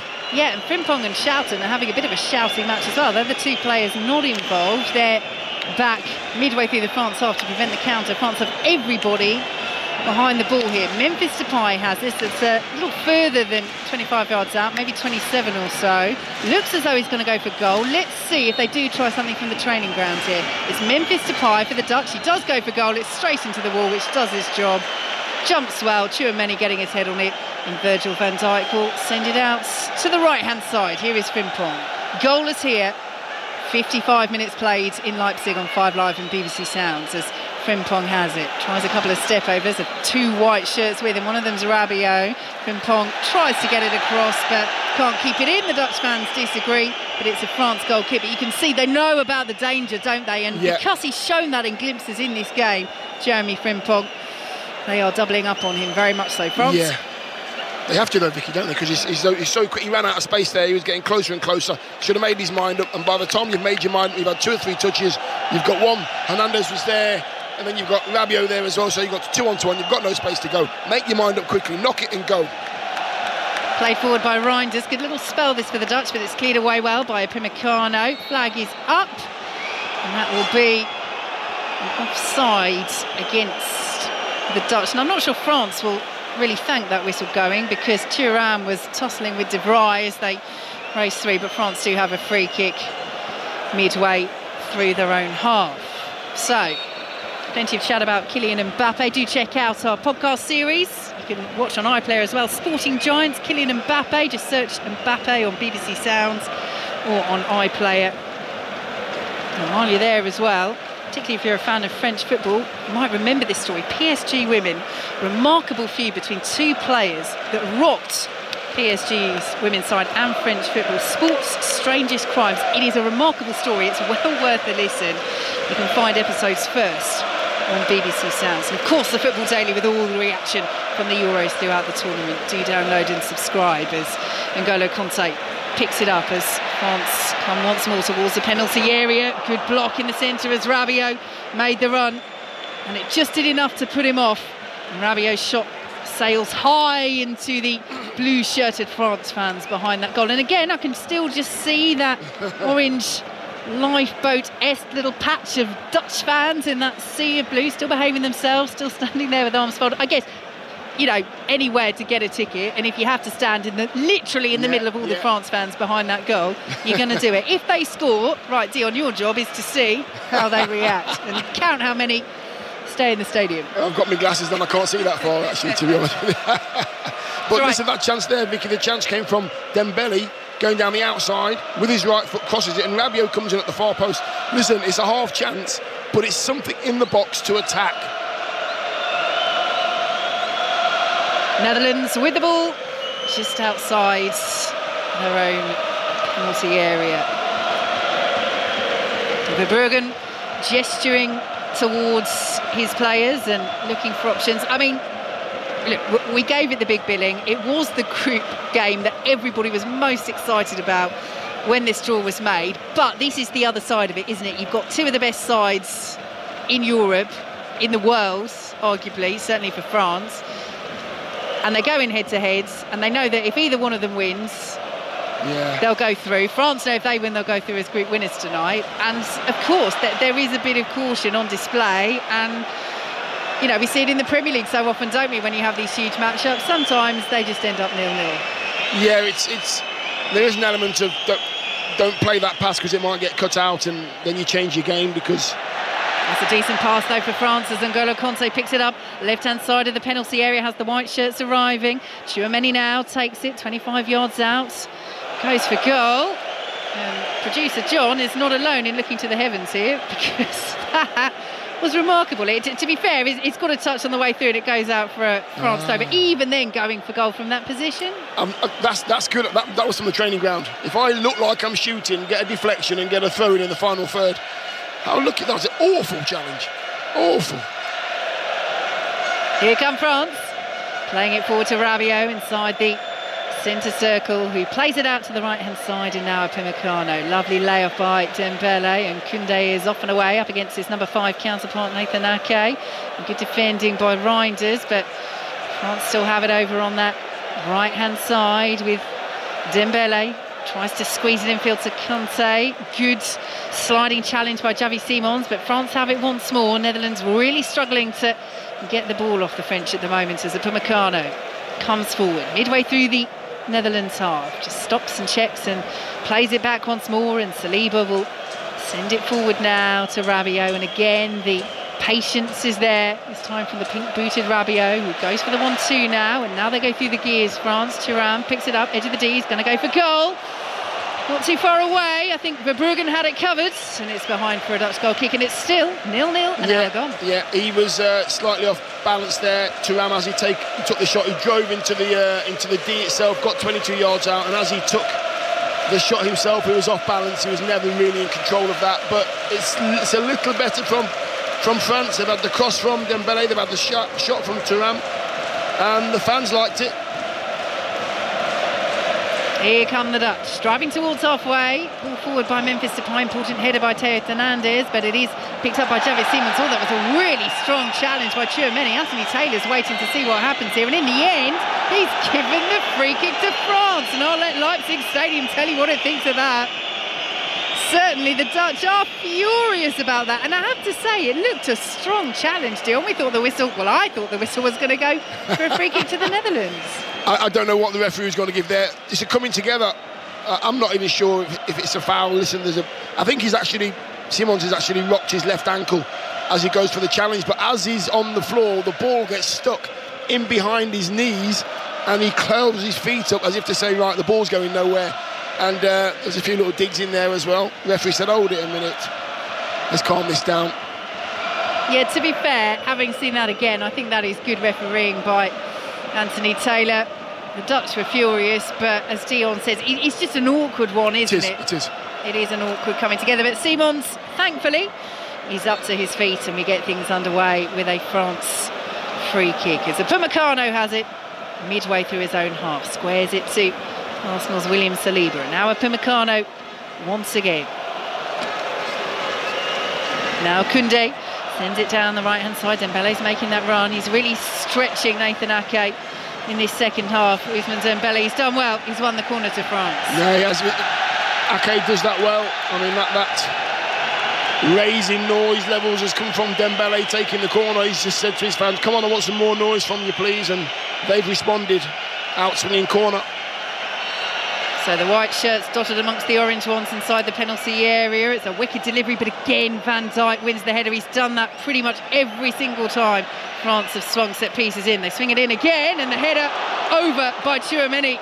Well, that time he didn't get there. France recycled it well, but the header sails over the bar of Bart Verbruggen. Isn't it, isn't it strange if you just cross the ball, you get chances? Put the ball in the box, give you up um, your, your opponent something to defend couple of chances now. France have had a couple of half chances because they've got into good areas. They haven't refused to cross. And this Netherlands defence slightly on the back foot now, making sure that they don't lose any of those players in the box. The tricolours waving around Leipzig Stadium once again as Denzel Dumfries is dispossessed by Rabiot. That's good play by Rabiot and Tchouameni can bring it forward. Here is Griezmann on the halfway line turns and sends it out to the left-hand side and N'Golo Kanté who lays it off to Tchouameni. He has scored three goals for France, the Real Madrid man. Now squares it once more to Rabiot outside the centre circle. The tricolours wave once again around that little orange patch of Netherlands fans. I wonder if any of the France fans have tried handing them a tricolour and saying, you know, well, we've got the vertical, Reds white and blue, you've got the horizontal. if you just turn it to one side, you could just almost hold it up, Nobody will know, nobody will know. Here is Theo Hernandez down the left-hand side, midway through the Dutch half as we approach the midway point of this second half, and still it's goalless between Netherlands and France here on 5 Live and BBC Sounds. Here is Tchouameni, just outside the centre circle, sends it out to the right-hand side, and Upamecano. Remind you, you can watch this match on BBC One Steve Wilson and Jermaine Jenas. You can select our commentary as well, which is synced up with the pictures if you'd like to through iPlayer and the red button. Saliba has it on the right-hand side. Here is Tchouameni. Who would you say is on top at the moment, Dion? Yeah, I think France at the moment are just having the, the better of the, the of the possession, creating a few more chances, getting players forward, getting to good areas, and actually putting something in the box or shots from edge of the box as well. They're getting closer. No changes for either side yet as well. You wonder when Ronald Koeman and Didier Deschamps will turn to their benches. And of course for France, will Kylian Mbappe make an appearance as Hernandez squares it back to Saliba and now picks it up and finds Tchouameni. Dembele on the turn, finds Tchouameni once again. Griezmann almost put in his way, but that's a lovely back heel. France sweeping into the penalty area. Kanté, Griezmann can't find the finish. Brilliant save by Verbruggen. But again, a close range opportunity for Antoine Griezmann. And he can't take advantage, he can't sort his feet out. You've got to praise Verbruggen there, though, Dion. Yeah, listen, really, really good stuff from France. But again, the finishing Griezmann just can't sort his feet out on the far, at the far post. Keeper makes a fantastic save with his foot. to put it out for a corner. But listen, when you're in those when you're in those positions, you have to score goals. Really, really good position again. I thought Kanté could have could have um, could have shot as well from eight yards out. Here comes the corner, swung in from the right hand side. It's over the head of Rabiot and cleared away by Schouten. Yeah, Kanté's been shooting from 25 yards, 30 yards, but not from that sort of range. And as Dion says, maybe he should have done. As Tchouameni is going to drive for goal. It's cleared away by Ake, and now Frimpong might be able to counter. Challenged by Dembele. Anthony Taylor says he got the ball, and it did look like a good challenge as well as France come forward. They have the momentum at the moment. The Dutch can't get out of their own half. Nil-nil here on 5 Live and BBC Sounds in Leipzig at the Euros as Rabiot allows the ball to run under his feet and then controls and plays it forward to N'Golo Kanté. Nice little 1-2, Rabiot forward, Griezmann. Kanté once again, nice footwork inside the area, shot driven in and claimed by Bart Verbruggen. There's Dembele over on that far side, more of a cross than a shot in truth, but that was some lovely link-up play by France. Yeah, and it's it's, uh, it's Griezmann again, isn't it? It's, it's, it's um, Dembele getting the ball back, working really hard in, in, defensive role, and then getting it into Griezmann in that centre forward position. A few little one-twos, getting it out wide. This is better from France. They're moving the ball quicker. I said in, in comms in the first half, if you can move the ball quicker, you'll create chances. Thuram's won the ball, illegally so, says Anthony Taylor, and the Netherlands have a free kick midway inside their own half as a huge tricolour that was just being waved away to our left drifts down in disappointment. Nil-nil between the Netherlands and France. Plenty of action coming up for you tomorrow from the Euros on 5 Live once more. Georgia against the Czech Republic gets things underway at 2, followed by Turkey against Portugal, and then Belgium against Romania finishes things off as the Netherlands give the ball away. Here is Griezmann. Thuram making the run. Griezmann still going. Finds Dembele. Right hand side of the penalty area. Dembele might go for goal. Turns back as Koundé there in support. Dembele does go for goal. And it flies narrowly over the bar. But they are really building up ahead of steam here, France. They're doing well. They're, they're picking the right passes now. They're getting the right people on the ball. Lovely little ball from Griezmann as well. Dembele one on one with Ake, twisting him left, twisting him right, faking to shoot. We know what he's like on his left foot. Face to shoot with his left, comes on his right, so you're not quite sure if you should dive in or not dive in. But if you do that and you find a gap, you have to hit the target. He's done it two or three times now, and he's ballooned it over the bar. Verbruggen has the ball inside the Dutch penalty area. The Netherlands goalkeeper all in green, plays it out to Schouten, but France are pressing around the box and they go back to Verbrugge in the Netherlands. This is a good spell for France, probably their best of the game. France, who have reached the final in three of the last four major tournaments. They won the World Cup in 2018. They were runners-up at Euro 2016 and at the World Cup in 2022. The only exception to that their last 16 exit on penalties Euro 2020. Here come the Dutch into the penalty area. A little back heel by Theo Hernandez on the edge of his own six-yard box, picked up by Frimpong just outside the area. Now worked out to the left-hand side as Cody Gakpo finds Memphis Depay on the turn. Brilliant save, Maignan, but the follow-up is driven in! Xavi Simons! What a goal from him! What celebrations inside Leipzig Stadium, which is a sea of orange and flying beers all around us. Xavi Simons with a low drive, but Anthony Taylor, the referee, has his arm in the air and the flag's up as the goal celebration music starts. The Netherlands celebrations are curtailed. And how many times do we say this, Dion? Now we wait for VAR. Yeah, I'm, I'm, I'm not sure. Oh, they're saying, is there interference with the with the keeper? I Yeah, the, the question here, Dumfries, as the shot comes in, is in an offside position. He's right next to the goalkeeper, Mike Maignan. Now, he's not in Maignan's eye line, but the question is, does he impede Maignan coming to his left to stop or attempt to save that shot from Xavi Simons, which was a rocket driven low into the back of the net. So now we have the check. What do we think, Dion? It's what these Maignan kind of kind of makes a movement towards it to try and save it. He, he can't really get there because Dumfries is there, but is he really going to be able to save that anyway? Listen, if, if listen, for me, the keeper has to dive if he's going to make I mean, I'm not sure if this is right or wrong, but he's not in the eye line, so I'm thinking to myself, he's not, he's not tried to dive the keeper. You know, I'm not sure how this is going to go. I don't know. The flag was so late as well, and we're not quite sure. The celebrations were going on. We, we didn't see. The, I think the linesman pulled pulled the referee over, so the officials chatted, and then yeah, he's standing there with his hand to his ear. The yeah, referee. He's, he's, he's, having a listen. He may go to the screen because this is possibly subjective. Of course, if it's a question of whether Dumfries is offside or not in terms of where his position is on the field, then it's subjective. But he's clearly in an offside position, but does he become active? That's the key yeah, question, yeah. And, and that is subjective. So Virgil van Dijk and Antoine Griezmann, as the captains, are coming over to talk to Anthony Taylor. Real tension inside the stadium here in Leipzig.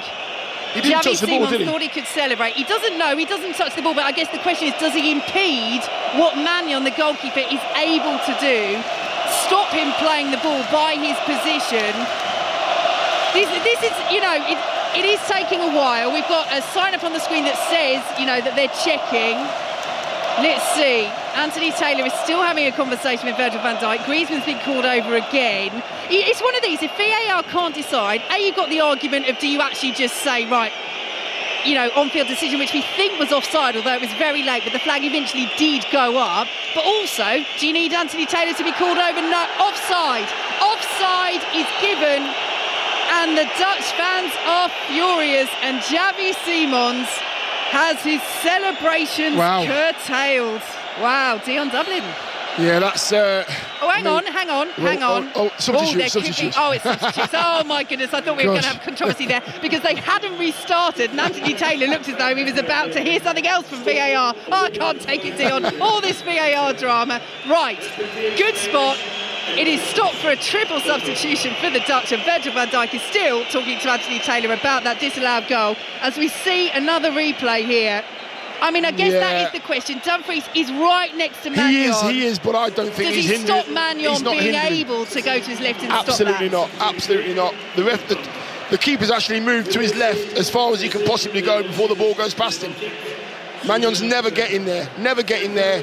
Yes, he may be in the eye line. Yes, he was in an off, offside position, but I don't think he hindered the keeper one bit. Well, what a 60 seconds for Xavi Simons. He thought he put the Netherlands in front. He hasn't, and he's now been subbed for Georginio Wijnaldum.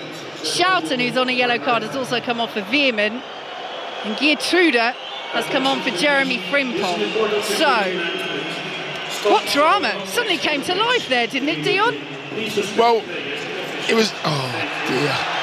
It's all going off now, look. It is Saliba shepherds it back to Mike Maignan. Now they're asking for an offside, and belatedly the flag does go up. Memphis Depay's not happy. Saliba got there anyway, and France have a free kick.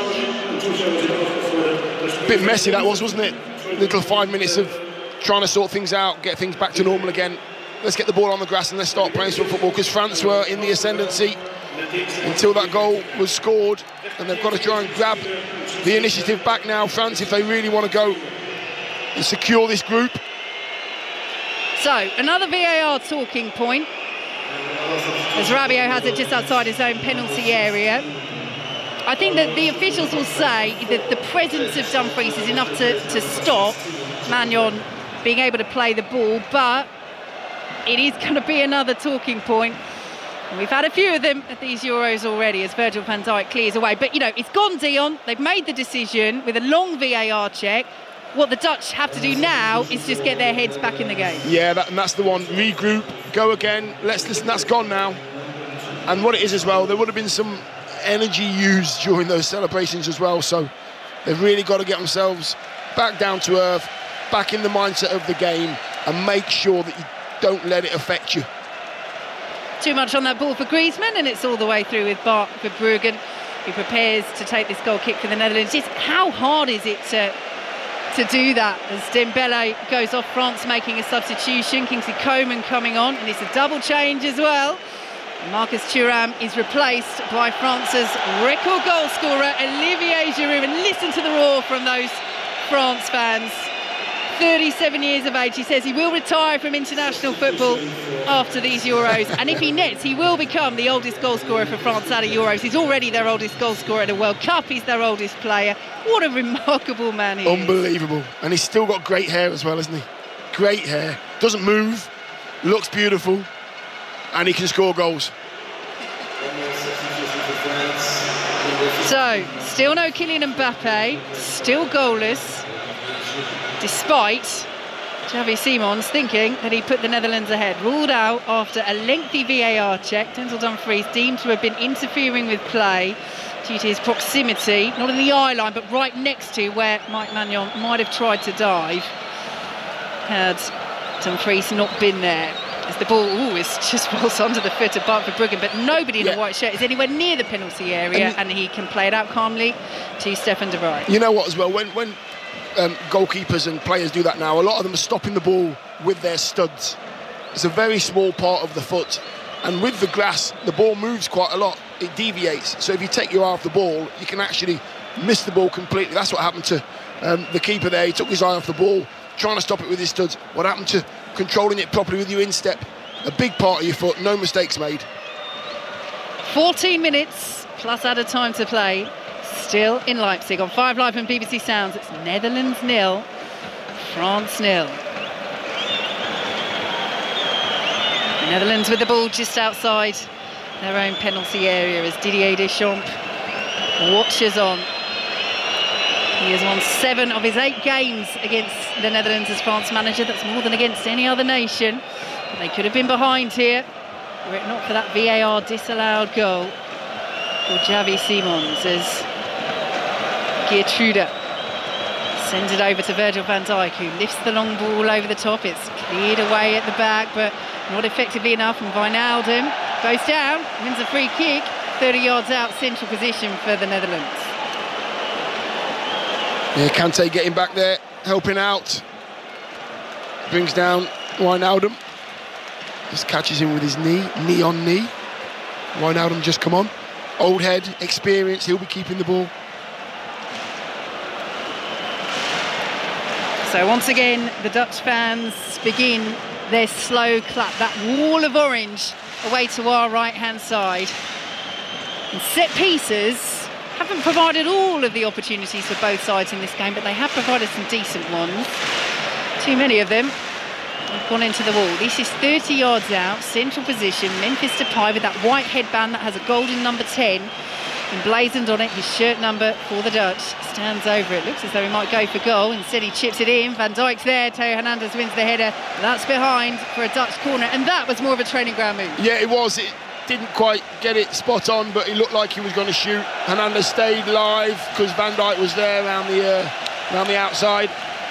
Lots of cups in the in the corner, being kicked off before the corner's taken. Yeah, he's having to clear the cups away here, Joey Veerman, and the cups are there from when the Dutch fans threw them at Antoine Griezmann.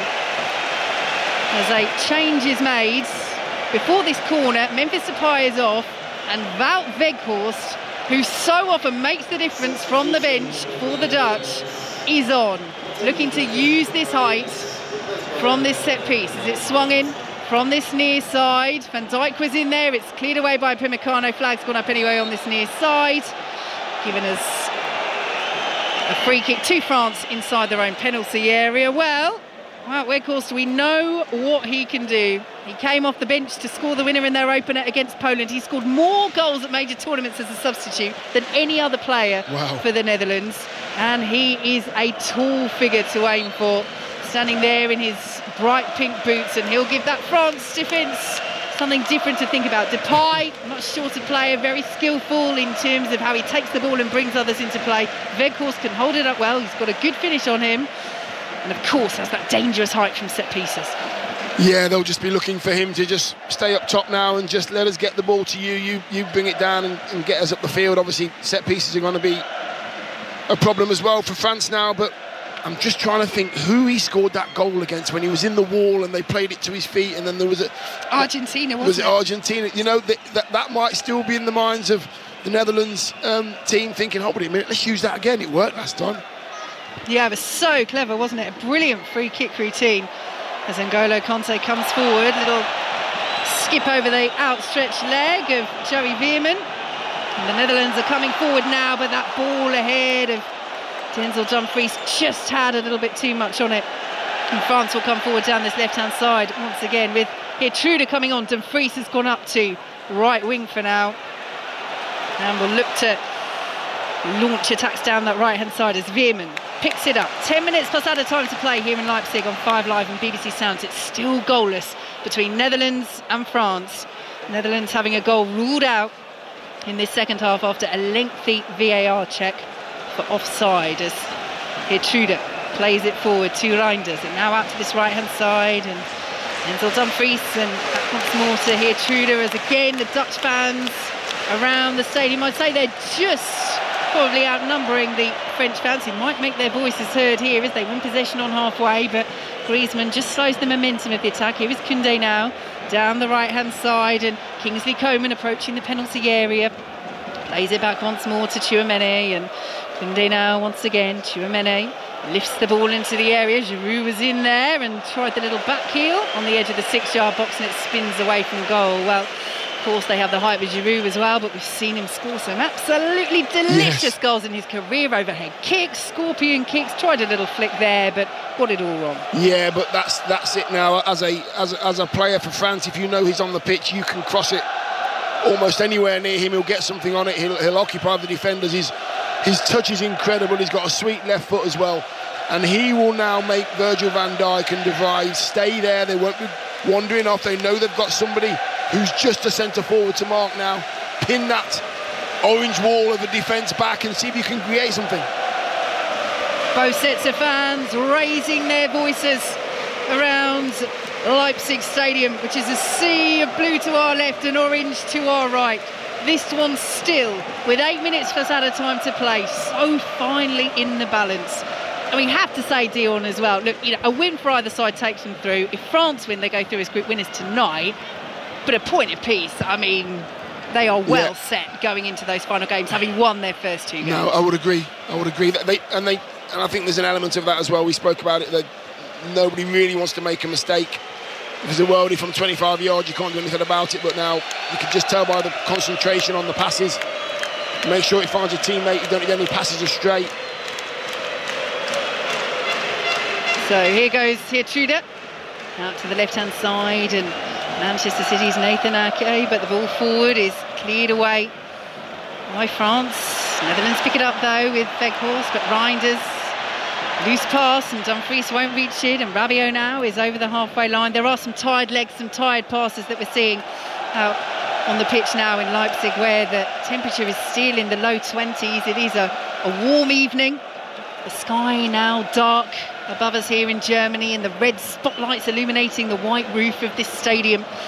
And as your eyes travel down below, it's blue and orange that covers the seats here. Both sets of fans hoping for a late winner, some late drama as Tchouameni picks it up midway through the Dutch half, sends it out to the left-hand side and Theo Hernandez up against Denzel Dumfries who's back there defending. And Tchouameni will send it back once more to William Saliba does feel, Dion, that there's going to be one more big chance yeah, yeah I think in the final right. seven minutes or so plus added time. I think you're right. I think there'll be a good two or three more chances, to be honest with you, Vicki. I think there's um, one for each side coming. Here are France, midway through the Netherlands half. Nil-nil. We haven't had a goalless draw at the Euro since the group stages. Euro 2020. Don't let us down, Netherlands, France. Let's have some late drama. As Rabiot has it. Again, it's just a wall of orange in front of them, and France are passing sideways and trying to pick the lock of this well organised and drilled and disciplined Dutch defence. Coman comes down the right hand side, but there's nowhere to go. Sends it back to Upamecano. Netherlands so deep now, though, as Weghorst steps up and tries to put some pressure on Saliba just outside the centre circle. Upamecano has it now, sends it forward to Coman once more. A few jeers and whistles from the Dutch fans as Coman under pressure sees that ball played out on the left-hand side by Liverpool's Cody Gakpo, and it will be a throw to France, and we have five minutes plus added time left to play. Dion. Yeah, it's it's it's really slow at the moment. France going from left wing all the way through midfield to the right wing as well, round the uh, the orange sort of set 4-4-1-1 at the moment. Netherlands have set up in that way and they just can't break it down at the moment, France. Orange is the chant you can hear as Veerman wins the ball. France wanted the free kick for that. They're not going to get it. And now the Dutch spring forward, but Denzel Dumfries can't get there ahead of William Saliba. And Theo Hernandez will pick up the ball, but they did really commit the orange shirts forward there, didn't they, Dion? Back in position now defensively. Yeah, yeah, they, they do though. They do it really well. They look incredibly fit. The Netherlands. A few weary legs in the middle of the park though, but this is where you need your concentration. This is where you've just got to stay on it because you know if any lapses in concentration could mean that you lose this game, and that's what they don't want to happen. So the captains have got to play a role now. Here goes Koundé down the right hand side for France. It's all France at the moment in terms of possession, but they're really struggling to make inroads into or even towards really the Netherlands penalty area. What can Theo Hernandez do? Plays it out to the left hand side and N'Golo Kanté chips the ball into the area looking for Giroud who heads it down looking for Griezmann. Very important interception at the back by the Dutch because that was almost a lovely yeah. link up play and the ball goes out of play for France. So that was so intelligent from Giroud. He knew he was under pressure. He knew a header on goal would be so difficult, so he just knocked it down, trying to find Griezmann. Advantage played here as Theo Hernandez plays the ball into the area. Griezmann on the edge of the box. Koundé will pick it up, right hand side, lashes the ball across. It's cleared away by Van Dijk. Helped on towards the halfway line, and then Tchouameni is penalised, and the Netherlands have a free kick. Dion Dublin. Yeah, good period of play for France there. I mean, lovely ball from um, from Kanté to, to Giroud. He just gets in behind the defence.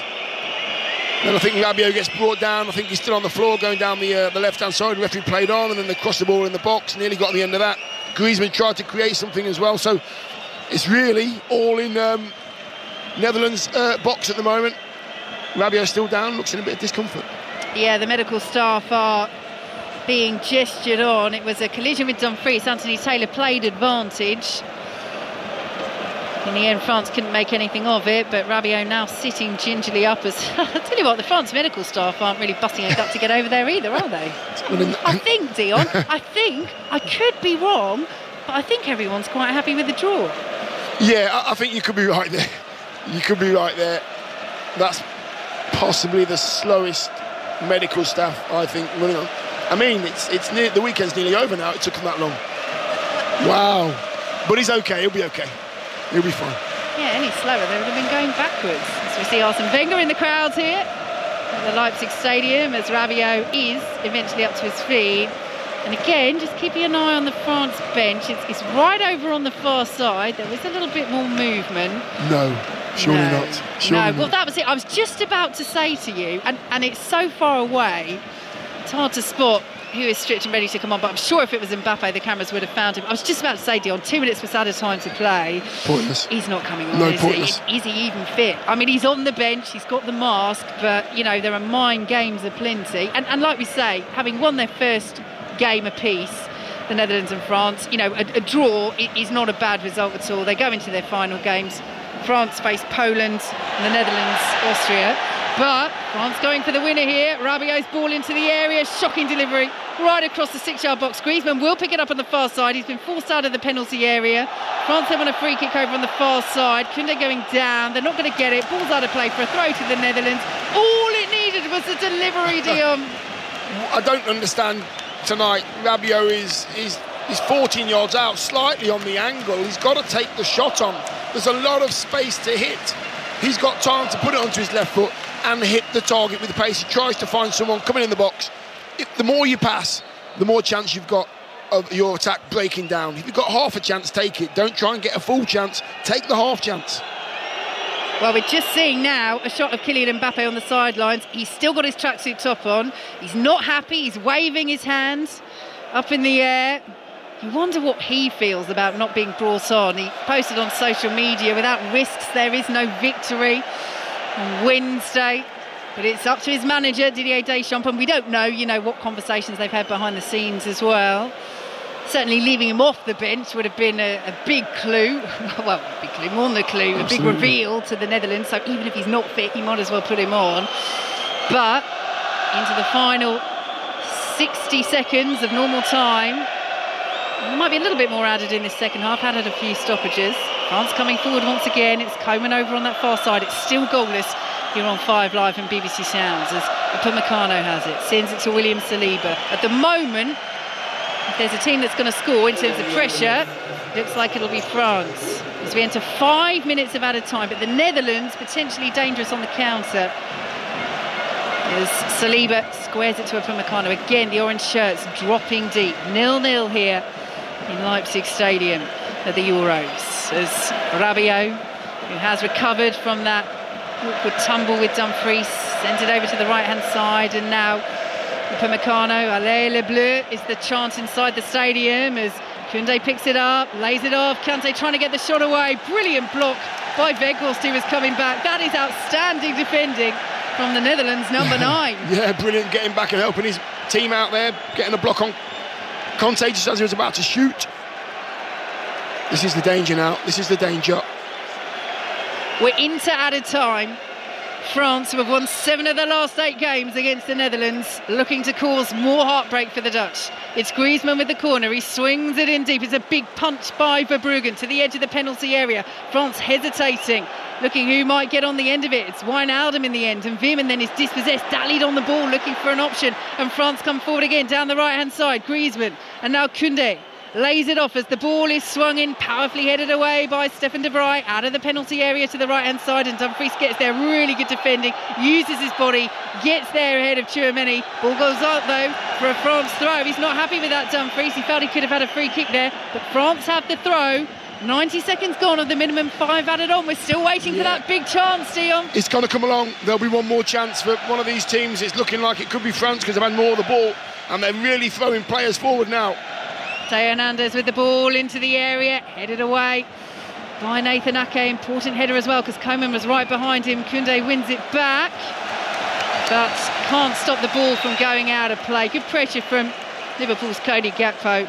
And the ball is out of play for a Netherlands throw. And let's just see how quickly the Dutch take this. And as again, the camera's found Mbappe. He's not going to be coming on. He's got that tracksuit top on.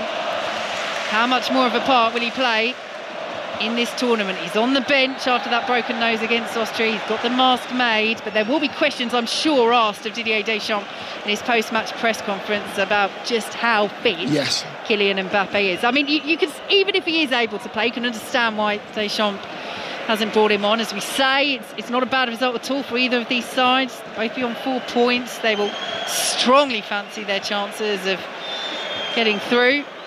But a win for either would have wrapped it up tonight, would have sent France to as group winners, but it's goalless as the Netherlands have the ball just inside their own penalty area. And now again, you know, it's, it's, the same speed as the France medical team who came on, you know, a few moments ago, isn't it? There's no closing down from France, and you can hear the cheers and whistles, and again, it almost sounds like they're coming from around the stadium because I think fans on both sides perhaps are a little bit frustrated because you know you want to see your team go for it, but in the cold light of day, as opposed to the darkness here in the skies above us in Leipzig, points not a bad result at all against opponents for both of these of this calibre. But the Dutch are coming forwards, perhaps one last chance for them. Dumfries with the delivery into the area. Poor delivery. Koundé did though get his header on it. Might not have had to. Hasn't got out for a corner though. Goes out for a throw deep in Dutch territory. Nathan Ake is over to take it. Yeah, they're not. They're not sprinting. They're not jogging. They're walking to get the throw. They'll try if they can though to get one more crossing because the big fella's in the box. There might be one more chance in it for them. 90 seconds of added time to play. It's goalless, but the Netherlands have the ball just outside the France penalty area. They've lost it though. It's cleared away by Kingsley Coman.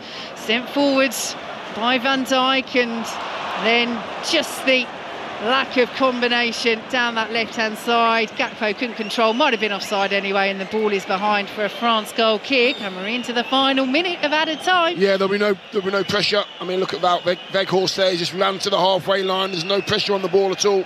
Get compact, don't let them through us, keep them there in front of us, and no mistakes. France passing it around their back four as they advance over the halfway line. Again, the Dutch with those orange shirts back defending. Every player behind the ball as Upamecano takes it over the halfway line and then lays it off to Koundé, plays it forward now to N'Golo Kanté and back to Upamecano once more. You do think, you know, just launch it long. You've got 30 seconds to play, you're dominating possession, might as well see if you can find Olivier Giroud. Will France do that? 15 seconds now to play as Tchouameni sends it forward. That should be dealt with by Geertruida. And it's dealt with. Hernandez got a toe on it, but can't stop it going out.